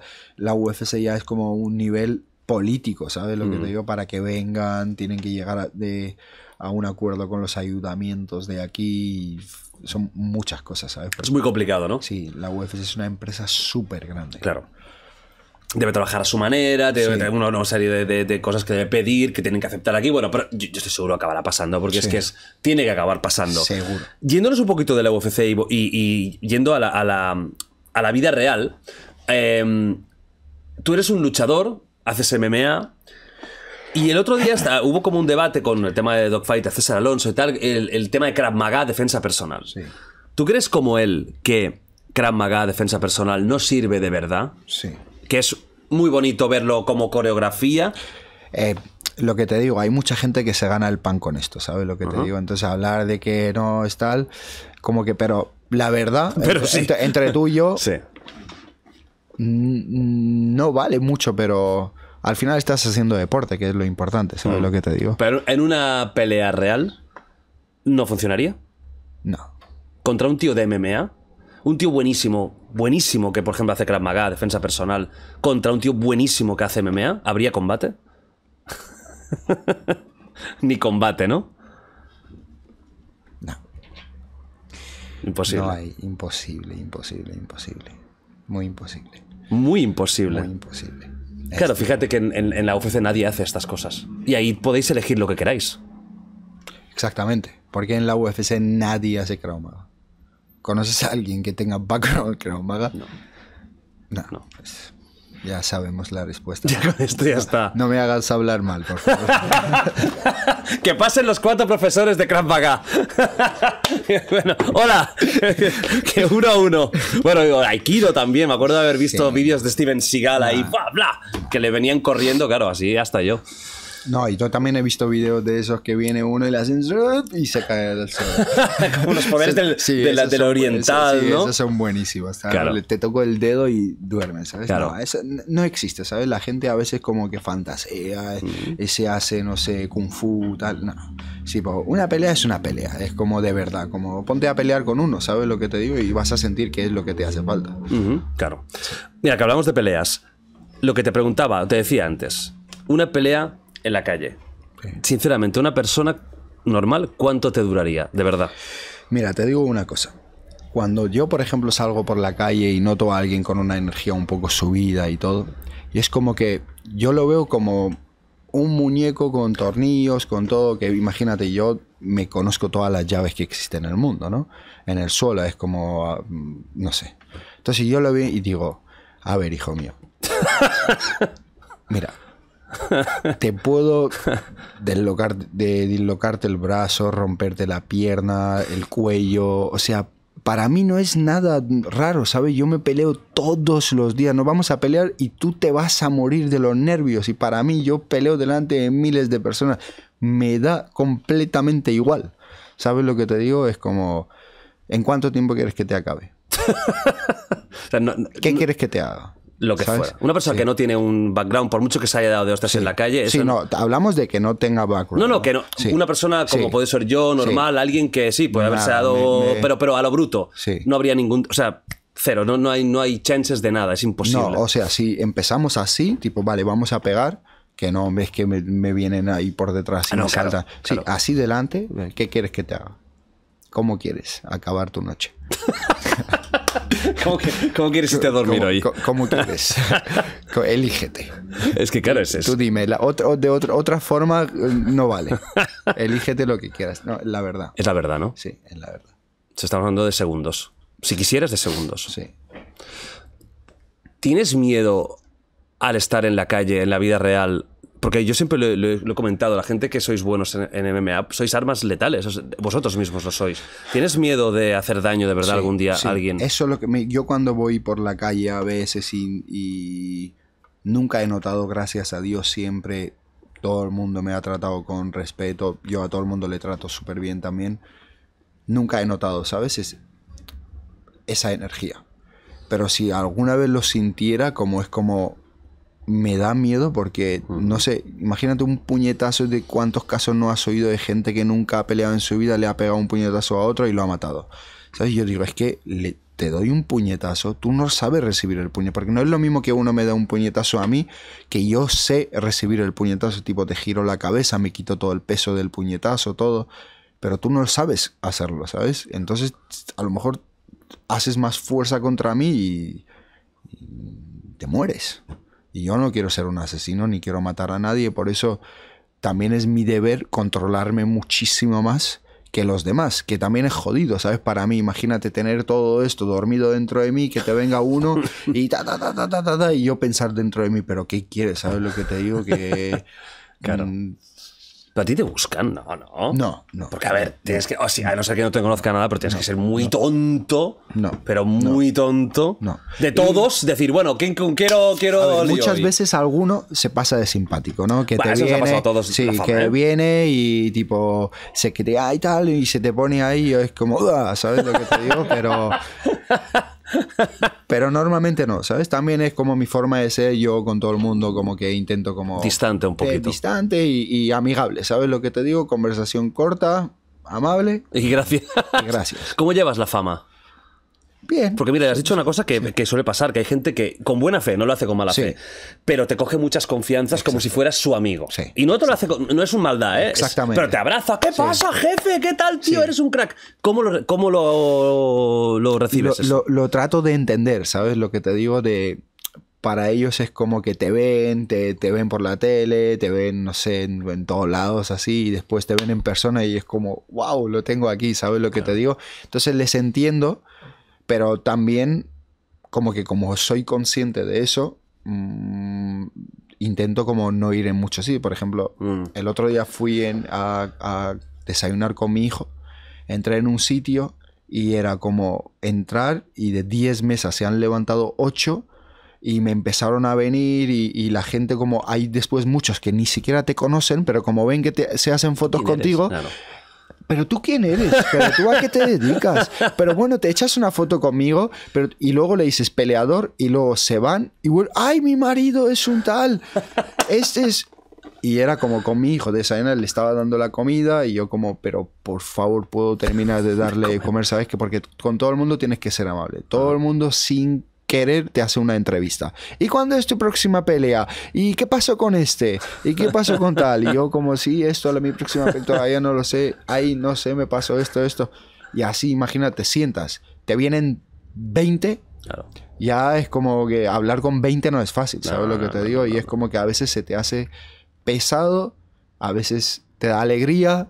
Ah, no sé, depende del día, ¿sabes lo que te, tú lo sabrás también? Sí, a tope sí, de sí. que saldrás y, y dirás, bueno, hoy eh, me alegra que vengan, ¿sabes lo que te digo? Hoy, Lo que pasa es que también limitas un poco tu vida, yo creo. Ya, ya, ya no eres tonto y es lo que nos pasa a todos los que nos dedicamos a esto, que ya yo hay sitios ya a los que no voy a ir. Es, eso es y lo que- si lo voy, pues es porque, mira, se ha dado la circunstancia de que tengo que ir, pero no suelo ir. claro. Exactamente. Yo hago lo mismo, que hay sitios que ya digo, mira, no voy. Pero no para porque- evitar a la gente. O sea, no, Sí. no- no- sí que es evitar, pero no es porque, porque tengas rabia de esa gente. Pero es que es, es muy complicado, realmente es desagradable a veces. Súper- yo, yo te digo, yo he ido a sitios y como que se me cola. ¿Sabes lo que te digo? De ir en algún sitio y ver una cola. Mm. ¿Sabes? Y digo, pero te haces una foto con uno, con dos, y, y luego te viene un padre con dos hijos, una foto, uno, uno más, por favor, y Claro. otro más, y con todo el mundo, hasta que no acabas, ¿sabes lo que te digo? Con todo el mundo, foto, foto, foto, foto, Claro. foto. Pero bueno, es parte de la vida, ¿sabes? También suerte de que estamos de este lado y no Claro, ¿no? eh, y estamos en, en y, otra y más que, situación. y más que va a venir, porque esto, ya te digo, esto es el inicio de... Claro, tú, tú lo has dicho, tengo 26 años, o sea, que eres un chaval, es que, Sí. es que parece que, que seas mayor y que lleves muchos más años en esto. Y, Mm. y tu carrera, 26 años en este deporte es súper joven. Sí, súper joven. Para, para, el, para las MMA, sí. Para estar a nivel top Sí. es súper joven. Sí. O sea, John Jones creo que fue un caso extrañísimo, que fue el campeón más joven y no sé, que tenía 20, 23. 23. Y eso es algo súper extraño. Ah, es el número uno en el mundo en todos los pesos. Pero lo que te digo, mm, yo es- empecé de aquí, ¿sabes lo que te Claro. digo? Yo cuando le hablaba a la gente de la UFC era como, "¿Qué- ¿pero qué está hablando esto? ¿Qué coño es? Como decir ahora, eh, quiero mm, llegar a ser una estrella de fútbol americano, pero ¿cómo? Si no hay ni un estadio aquí de fútbol americano, no hay ni un equipo, ¿sabes? No hay ni uno jugador, ¿tú cómo vas a hacer? Pero mi mentalidad siempre ha sido, si alguien lo ha hecho, Mm. yo también lo puedo hacer. Si nadie lo ha hecho, seré el primero en hacerlo. Ya. Y aquí estás. Em, antes decías lo de. Hemos hablado de lo del Kramaga y todo eso, pero mira, ahora vamos a lo positivo. Si tuvieras una persona, te preguntaría, mira, quiero hacer un deporte de, con- de contacto. Sí. ¿vale? No para ser profesional, ¿eh? Sí. A nivel personal, sentirme bien y también por si un día tengo algún problema, eh, saber hacer algo. ¿Qué, qué le recomendarías? Puedes elegir uno. Yo, yo si fuera un chaval que tipo quiero hacer deporte, también aprendo un poquito. Defenderse uno mismo y tal. mm, pero no, no- nunca, va, nunca y va a aparte, querer ser y- y, profesional. sí, ¿eh? y aparte divertido, boxeo. Sí. Sí. O, o, si tam- o jiu-jitsu. Pero sí, yo creo que más me... Jiu-jitsu, boxeo. Es que me pones en uno. Uno de los dos, ¿no? Sí. Pero, a ver, lo que te digo, jiu-jitsu también es súper... eh, para la calle, si te hace falta, es como... Porque tú cuando te peleas por la calle, ¿qué es lo primero que se hace? Sí, se sueltan un puñetazo, pero Acabas al final todos suelo, acaban abrazados. El, tipo, el, el típico agarre de colegio que le cogen la cabeza así. Pues ahí ya un boxeador se pierde mucho, pero un- uno de jiu-jitsu pues se le abre el mundo ahí. Claro. ¿Sabes lo que te digo? Ajá. Entonces, no sé, si quieres solamente entrenar y también saber un poquito y tener las manos y que tus entrenamientos sean divertidos, porque al final vas, le pegas al saco, haces manoplas, te mueves, te ves bien, tal, Sí, puedes subir un sí, sí. video al Instagram, Sí. vacilar un poquito. Claro, quedas como un Sí, chuleta. Sí, boxeo. Boxeo. Sí. Pero algo útil, útil, Sí. sería también boxeo o Sí, jiu-jitsu. O jiu-jitsu, exacto. Además hay como mucho en el jiu-jitsu, que tengo amigos que, que están muy metidos, eh, hay como mucho ambiente familiar incluso, ¿no? Sí, Parece y en, que... y en jiu-jitsu sí hay un... En jiu-jitsu, ¿eh? sí. como, como es algo más que deporte Sí, y hay como exacto. una camaradería especial. Al- lo has clavado, sí, es como muy especial. Es como la gente que entrena jiu-jitsu es como se hacen muy... Sí, se unen, se unen Se bastante. ayudan mucho, y, todo, y. Mm. toda, toda la historia. Ilia, ¿qué es la violencia para ti? La violencia, aprovecharte del poder. Para mí eso es violencia. Como tú saber que, que eres más que uno que puedes como tipo, no sé, humillarlo, tal, y aprovechar eso, ¿sabes lo que te digo? Y no ayudarlo y no extenderle la mano. Yo, hay gente, lo que te digo, es cuando sé que puedo y te puedo pegar o te puedo tal, no quiero, ¿sabes lo que te digo? Que es lo último que quiero, es a lo último que llegaría, ¿sabes? La violencia para mí es, es ese tipo de cosas, ¿sabes? Exponerte sobre la gente, intentar transmitirles miedo, que te tengan tal. No, no, no, no quiero que nadie me tenga nunca jamás miedo, ¿sabes lo que te digo? Yo quiero que lo mismo que te doy, respeto, devuélveme respeto, por favor, no quiero nada más, ¿sabes lo que te digo? Para mí eso es la violencia, de no saber tratarse, ¿sabes? Y tratarle a la gente como menos que tú. ¿Sabes? Porque tú estás aquí, el otro pues eh, ha decidido ser, yo qué sé, pescador. Pues él es feliz, no todo el mundo tiene que ser peleador, no todo el mundo tiene que ser futbolista o hacer lo que tú haces. Cada uno es el dueño de su vida, ¿sabes lo que te digo? Yo me concentro en la mía, no en la de los demás. Y para mí es eso, ¿sabes? Que, tipo, aprove- aprovecharte de los débiles. ¿Un campeón nace o se hace? Se hace. Se hace. se hace. Un campeón se hace. Pero desde muy, muy pequeño. Pero en todo, ¿eh? tienes que ser consciente de todo. Lo que te decía, la mentalidad. Tiene que ser la mentalidad, en cómo tú mentalmente te enfoques, ¿sabes lo que te digo? Tú mentalmente tienes que... Mentalmente te tienes que formar, más que físicamente. Es la mente, ¿sabes lo que te digo? Lo que te tienes que formar. No hay, yo creo que, persona en el mundo que quiera hacer algo y que no pueda. Pero es que no lo sé, es que me haces esta pregunta y... Es muy filosófica, ¿eh? Sí, es como yo desde mi punto de vista lo, lo percibo así, pero ahora pregúntale a uno que se ha dejado el lomo dentro del gimnasio y no le sale. Claro. ¿Sabes? Te va a decir, no, un campeón se nace. Y yo te digo, se, se, se hace porque yo siento como que yo me he hecho y Claro. no he nacido. ¿Sabes lo que te digo? ¿Cómo es la mentalidad de un campeón? ¿Cómo tiene que ser la mentalidad de alguien que es un campeón? En, en no tan solo en el deporte, ¿eh? El confiar, En la vida. Sí, en la vida. Confiar muchísimo en ti y que no considerarte listo una vez consigas tus, tus objetivos. Si tú eres listo durante todo el camino, por eso es que vas a conseguir tus objetivos. ¿Sabes? Mucha gente necesita alcanzar algo para sentirse reconocido. Pero no, lo vas a alcanzar porque esa grandeza ya vive dentro de ti, no por otra cosa.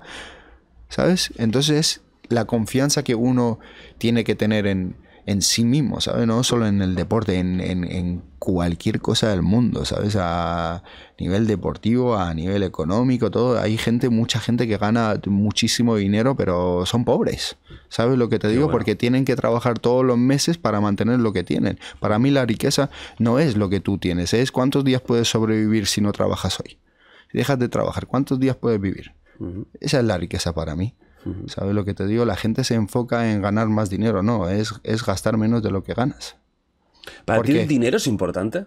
Súper importante. Pero también es tipo, tienes que saber llevarte con el dinero. Si no sabes, nunca vas a terminar de, de- de- de ser rico. Porque la gente como que más gana, más gastos incrementan.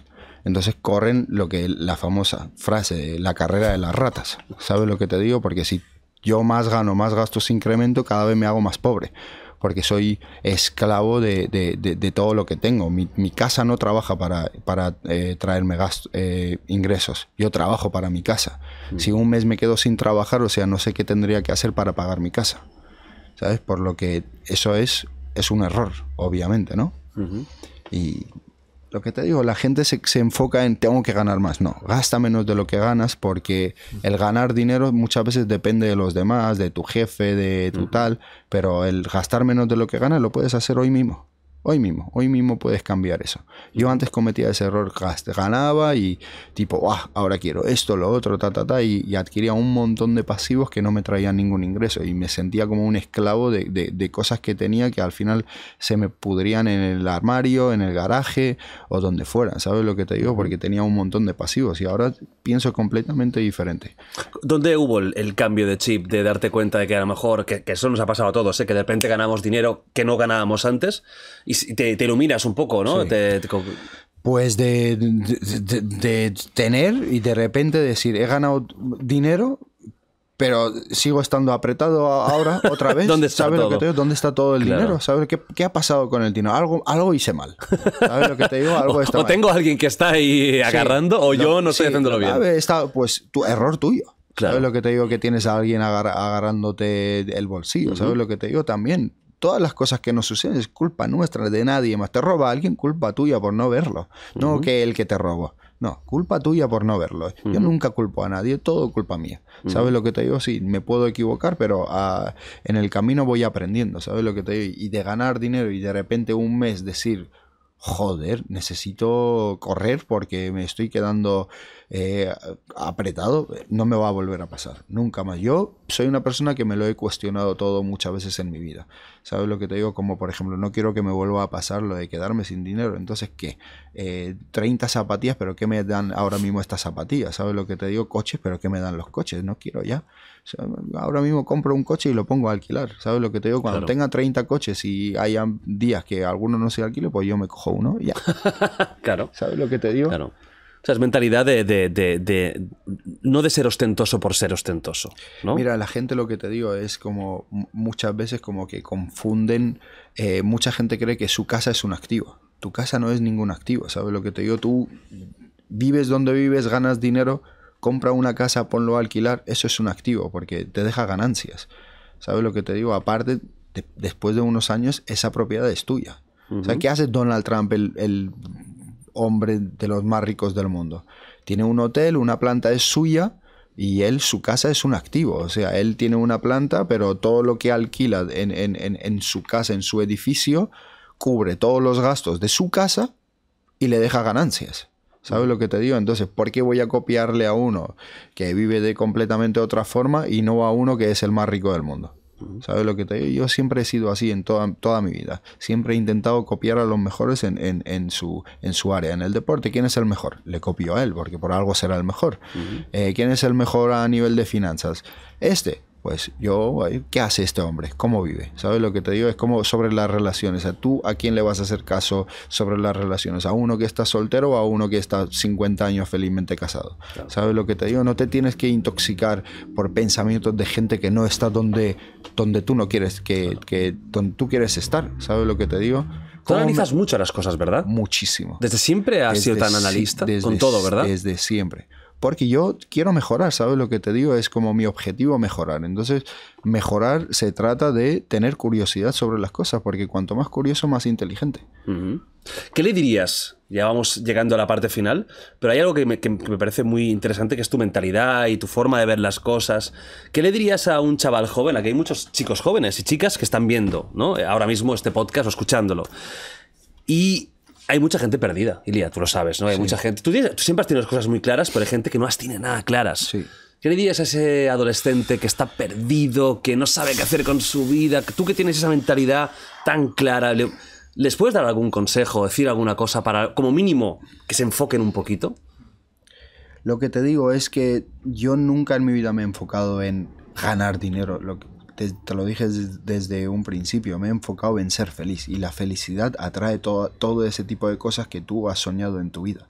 Te tienes que levantar por la mañana y ser feliz. Seguro que alguien está enganchado a las drogas, pero sabe que está mal, lo cual no lo hace feliz, solo lo hace feliz en un momento eh, que, toma las drogas, ¿sabes lo que te digo? Y al final, pues de 24 horas, 5 mm, es feliz, pero el, el 19 no. ¿Sabes? Yo soy feliz los 24 horas de mi día. Porque sí, me cuesta ir a entrenar y cumplir con mi rutina, me cuesta, pero me hace feliz, porque siento que he hecho lo que debería de hacer. Entonces, me hago sentir una persona realizada. Lo que cada persona tiene que llegar a, a hacerse a sí mismo es hacerse sentir realizado, hacer lo que crees que debes hacer para mejorar. Tipo, eh, creo que debo de dejar las drogas. Pues déjalo porque vas a ser feliz. Y cuando seas feliz, Dios te iluminará otro camino que te llevará por cosas por donde quieres llegar. Escribe, ¿qué es lo que quieres? Yo muchas veces hago esto. Escribo todas las cosas que sueño en mi vida, todo lo que quiero. Luego vivo el tiempo presente, como si tengo todo lo que quiero. ¿Sabes? Lo que, todo lo que he soñado. Y percibo ese sentimiento de cómo me sentiría yo teniendo todo lo que he soñado en mi, en, mi, vida, ¿no? Porque después también sigue la vida, después cuál sería mi objetivo, ¿sabes? Y al final a la conclusión que llego es disfruta el día a día porque no hay cosa que valga, ¿sabes lo que te digo? Sé feliz todos los días, siéntete realizado. ¿Sabes? Haz cosas que de verdad te hagan sentir feliz. aunque te duela, aunque tengas que sacrificarte, aunque te tengas que joder, hazlo porque te va a hacer feliz al final todo va a valer la pena. ¿Eres feliz incluso en los cortes de peso? Ahí no tanto, ¿eh? Súper feliz. Sí, ahí con en la, en la, eh, bañera Antes no era nada feliz, sufría muchísimo y sentía como, como que estaba viviendo un momento de maldición y todo. Pero luego decía, pero si después pasa todo esto y estás orgulloso de todos esos momentos de la superación. Y lo que te viene. Claro, y te demuestras a ti mismo que tienes una fuerza de voluntad de tienes hambre, tienes dinero para comer lo que te salga de los... ¿Sabes lo que te digo? Y no lo haces porque tienes un sueño, ¿sabes lo que te digo? Yo ahora mismo podría... Yo ahora mismo no peleo. Hasta el resto de mis días que me queda, hambre no voy a pasar, ¿sabes lo que te digo? Voy a vivir bien, ¿sabes? Mucho mejor que muchas personas que trabajan todos los días en una oficina sentado, ¿sabes lo que te digo? Viviría mucho mejor.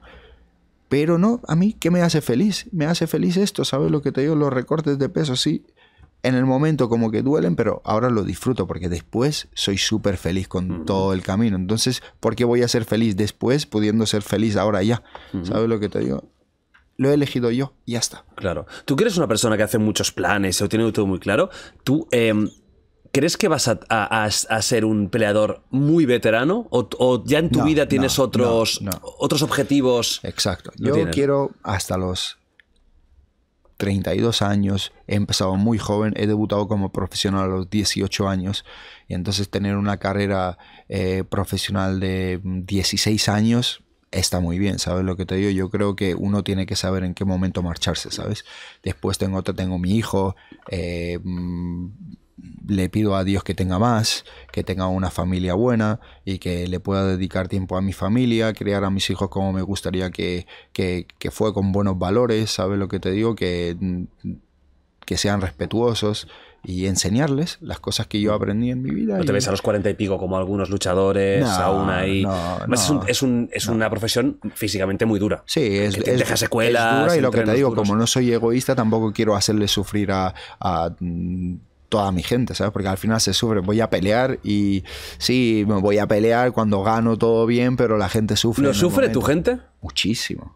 Muchísimo. Claro, les da miedo todo. Eh. Aunque te digan que no y te intenten transmitir toda la seguridad del mundo y tal, tú ves como cuando yo gano, es como de 10 personas que hay en la habitación, 8 lloran. ¿Sabes? Es como de, la liberación. Ya, de bueno, menos mal. Sí, menos, mal. Bueno, ya salió bien, todo bien. Y ya, ¿sabes lo que te digo? Y aparte, mm, tampoco quiero que mis hijos, tipo, vivan ese momento tan caótico, ¿sabes lo que te digo? Quiero que cuando ya...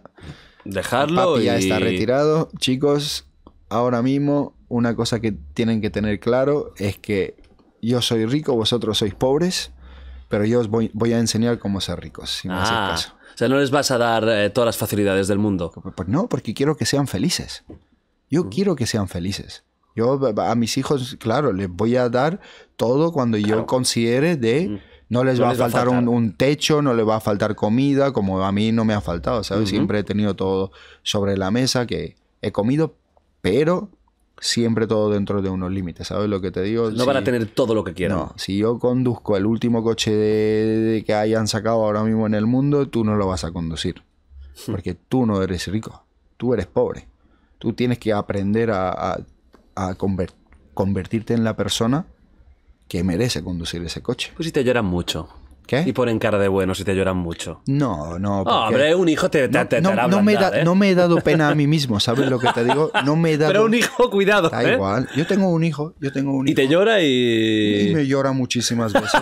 Me llora muchísimas veces por muchas cosas y yo no, no le acostumbro a los lujos y a vestirlo en Mm, tal y cual. Yo a mi hijo lo he visto como, Buenos valores. sí, con buenos valores y, y- y así quiero que crezca, ¿sabes Claro. lo que te digo? Porque para mí eh, no toda la riqueza tiene forma de papel, ¿sabes lo que te digo? La riqueza es veces, completamente ¿eh? otra cosa, es lo que tú tienes aquí, lo que tienes en tu espíritu, en tu alma y ya, y ese es mi objetivo como padre, que yo espero cumplir mi, mi- mi papel y que ellos mismos sepan pescar por su, por su, por su cuenta, ¿Te ¿sabes? gustaría que fueran peleadores? Lo que ellos quieran ser. Yo los importaría. apoyo. ¿Quieren bailar? Baila. Pero sé feliz. ¿Sabes lo que te digo? Elige algo que te haga ser feliz. Yo, ¿Qué pone en la Biblia? Tú no le tienes que dar el pescado a la gente, les tienes que enseñar a pescar si de verdad quieres ayudarles. ¿sabes? Y eso es lo que yo quiero hacer con mis hijos también. Darles herramientas para que ellos construyan... exactamente, lo que tengan que construir, ¿no? Porque van a ser felices, Claro. se van a sentir realizados. Vamos con la última. La última no tiene nada que ver con nada. Pero siempre la pregunto. Y es una que yo digo, oye, ¿habéis tenido alguna vez en la vida alguna experiencia que se pueda catalogar de paranormal?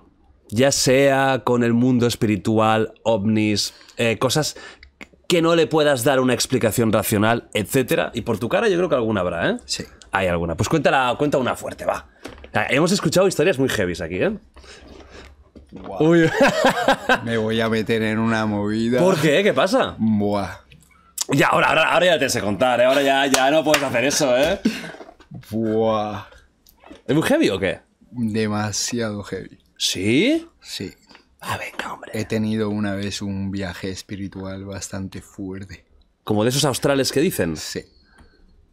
A ver, ¿cómo fue esto? A ver, cuéntame, va. A ver, a ver, ah, no me digas que, que- que mataste a cinco personas en el viaje este, digo, a ver, ¿no? No, no, no, no, no fue eso. A Fue ver. un viaje espiritual que bastante fuerte. Pero no sé, yo creo que me van a matar. Pero, ¿Por? No sé. Que, que- como que, que- que es una, locura. Sí, es una locura. Yo creo que me la... Te lo cuento después en la Venga, intimidad. va, me lo cuentas en privado. Sí, pero ¿tienes privado. alguna que no sea tan heavy, rollo que... Porque aquí he contado muchas historias de haber visto cosas, eh, que a veces puede ser una sombra, realmente nuestra cabeza juega mucho a esto. Pero ¿tienes alguna cosa que hayas dicho tú, vi algo que no pude darle una explicación? O lo más fuerte es eso. Sí, pero tendría que contarte un poco la historia de cómo, tipo, mi creencia en Dios. ¿Por qué viene tanto de que yo desde pequeño creo muchísimo en Dios? Yo siempre creo en Dios. Es porque mucho, ¿eh? Yo creo muchísimo, muchísimo. Es como que siento que, no sé, yo creo muchísimo. No sé, era pequeño, vivíamos en Georgia, mis padres se habían ido y había un momento como difícil que pasamos. Entonces yo volvía con mi hermano de, de un entrenamiento y como que de mi casa hasta el al gimnasio que íbamos había como una iglesia en el medio y mi hermano y yo teníamos la costumbre de cada vez que nos parábamos delante de la iglesia nos santiguábamos. Y hacía como un rezo, me agachaba y porque en Georgia somos bastante Católicos. Sí, somos, somos cristianos ortodoxos, entonces creemos mucho en Dios y cada vez pues nos santiguamos. Y estábamos en un recorte de peso y bastante mm, apretados con el dinero y todo, y soñaba con mi hermano como, ¡guau! ¡Qué bueno sería, Dios, tal, ahora mismo comerme, no sé, una pizza, tal! Pero un niño, ¿sabes? Para mí comprarme una pizza era... ¿Sabes? Que no tengo ese dinero, me tiene que invitar mi padre, ¿sabes? Y nada, volví de, vo- volvíamos del gimnasio, me paro delante de una iglesia hablando de comida, muchísimo tal, me, ta, ta, ta, me santiguo y me veo un billete de 20 abajo. Y digo, pero ¿cómo puede ser que no exista Dios? ¿Sabes lo que te digo? Que dos niños vienen aquí soñando con comida, tipo, porque recorte de peso, aparte veníamos que teníamos un campeonato en lucha y desde ahí cortaba el peso, ¿eh? Buah. Cortaba. ¿Desde tan dos- chaval? Dos, tres kilos con nueve años cortaba Uf. el peso. Qué locura. Sí. Wow. Y vi ese billete, mi hermano y yo siempre contamos esa historia. Porque mi hermano estaba ahí y le dije, pero ¿te lo puedes creer? No, y lo peor de todo, no sabes, que encontramos el billete y cuando vamos como a comprar, decimos, pero si estamos cargando el peso y tenemos un campeonato. Va- no, no podemos. Y nos lo hemos guardado para después del, del campeonato. O sea que no comisteis nada No, igualmente. no comimos nada. Os pudo, mira, fíjate, os pudo la mentalidad ya en ese momento Sí. de niños Sí. Que, el, que, el, que el capricho. Que es Claro. lo lógico es que con dos chavales Eso es lo que te digo, que yo ya lo tienes dentro desde te- siempre. te- te- lo tenía dentro, ¿sabes lo que te digo? De Esa que fuerza. quiero, tengo, pero no lo hago. Sí, sí. ¿Sabes? Con, con nueve años que, que tienes, ¿sabes? Tú a un niño de nueve años ahora le das y, y no tiene el conocimiento sobre nada, pero yo era como, vale, lo tengo, pero fue como un ejemplo que me dio como, sueñas algo que realmente no lo quieres. ¿Sabes lo que te digo? Sí, toma, te doy. ¿Qué vas a hacer? ¿Sabes? Claro, es inexplicable, ¿sabes? Es como un ejemplo que te manda una enseñanza a la vida en un momento que tú dices, ¿por qué tenía que vivir este momento de que Dios me demostró que aún teniéndolo, cuáles eran las cosas importantes para mí? Claro. Que era la competición, claro. que era ganar esa competición, prepararme y todo, de- desde que tenía nueve años. Entonces, ¿cómo no voy a creer que voy a ser el mejor del mundo? Si Dios me ha dado todas las señales del mundo. ¿sabes? Lo único que me queda es confiar, trabajar Sí, sí. honradamente, no robar, no quitar, ser humilde, respetuoso y todo va a llegar a su debido momento. Tío, eh, no, no sé si he conocido nunca una persona tan segura de sí misma. O sea, yo no creo que soy muy seguro de mí mismo, pero hostia, es, es, es impacta incluso, ¿no? Yo creo que, joder, como hablas no hay duda, tío. Es que ya tengo ganas de verte contra Ortega, ya tengo ganas de verte contra Volkanovski, ya tengo ganas de verte contra, a ver quién será, si Mahachev o quien sea. Va, pero va. tienes que hacer una cosa ahora y es que aquí tenemos el Justin Bieber de la suerte que todo el mundo que viene Sí. lo firma. Bueno, firma, pone una frase, pone un dibujo. Cada vez hay menos sitio, ¿eh? se está complicando el tema. Y lo que tú quieras, eh, uno más, ahí tienes. Te voy a poner una de mis frases favoritas Venga. que pone, que dice, creer crea realidades. Creer... Esto lo podemos Sí, puedes moverlo. A ver, bueno, ahora cuidado que, que con la fuerza a lo mejor se carga el estudio. crea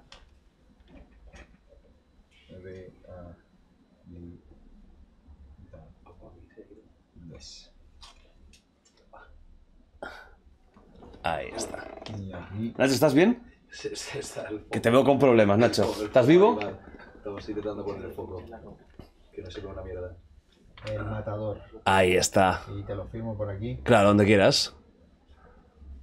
¿Quién te lo puso el matador? ¿Fuiste tú mismo o te lo puso alguien? No, eso nació en el gimnasio. Eso fue del gimnasio. Sí.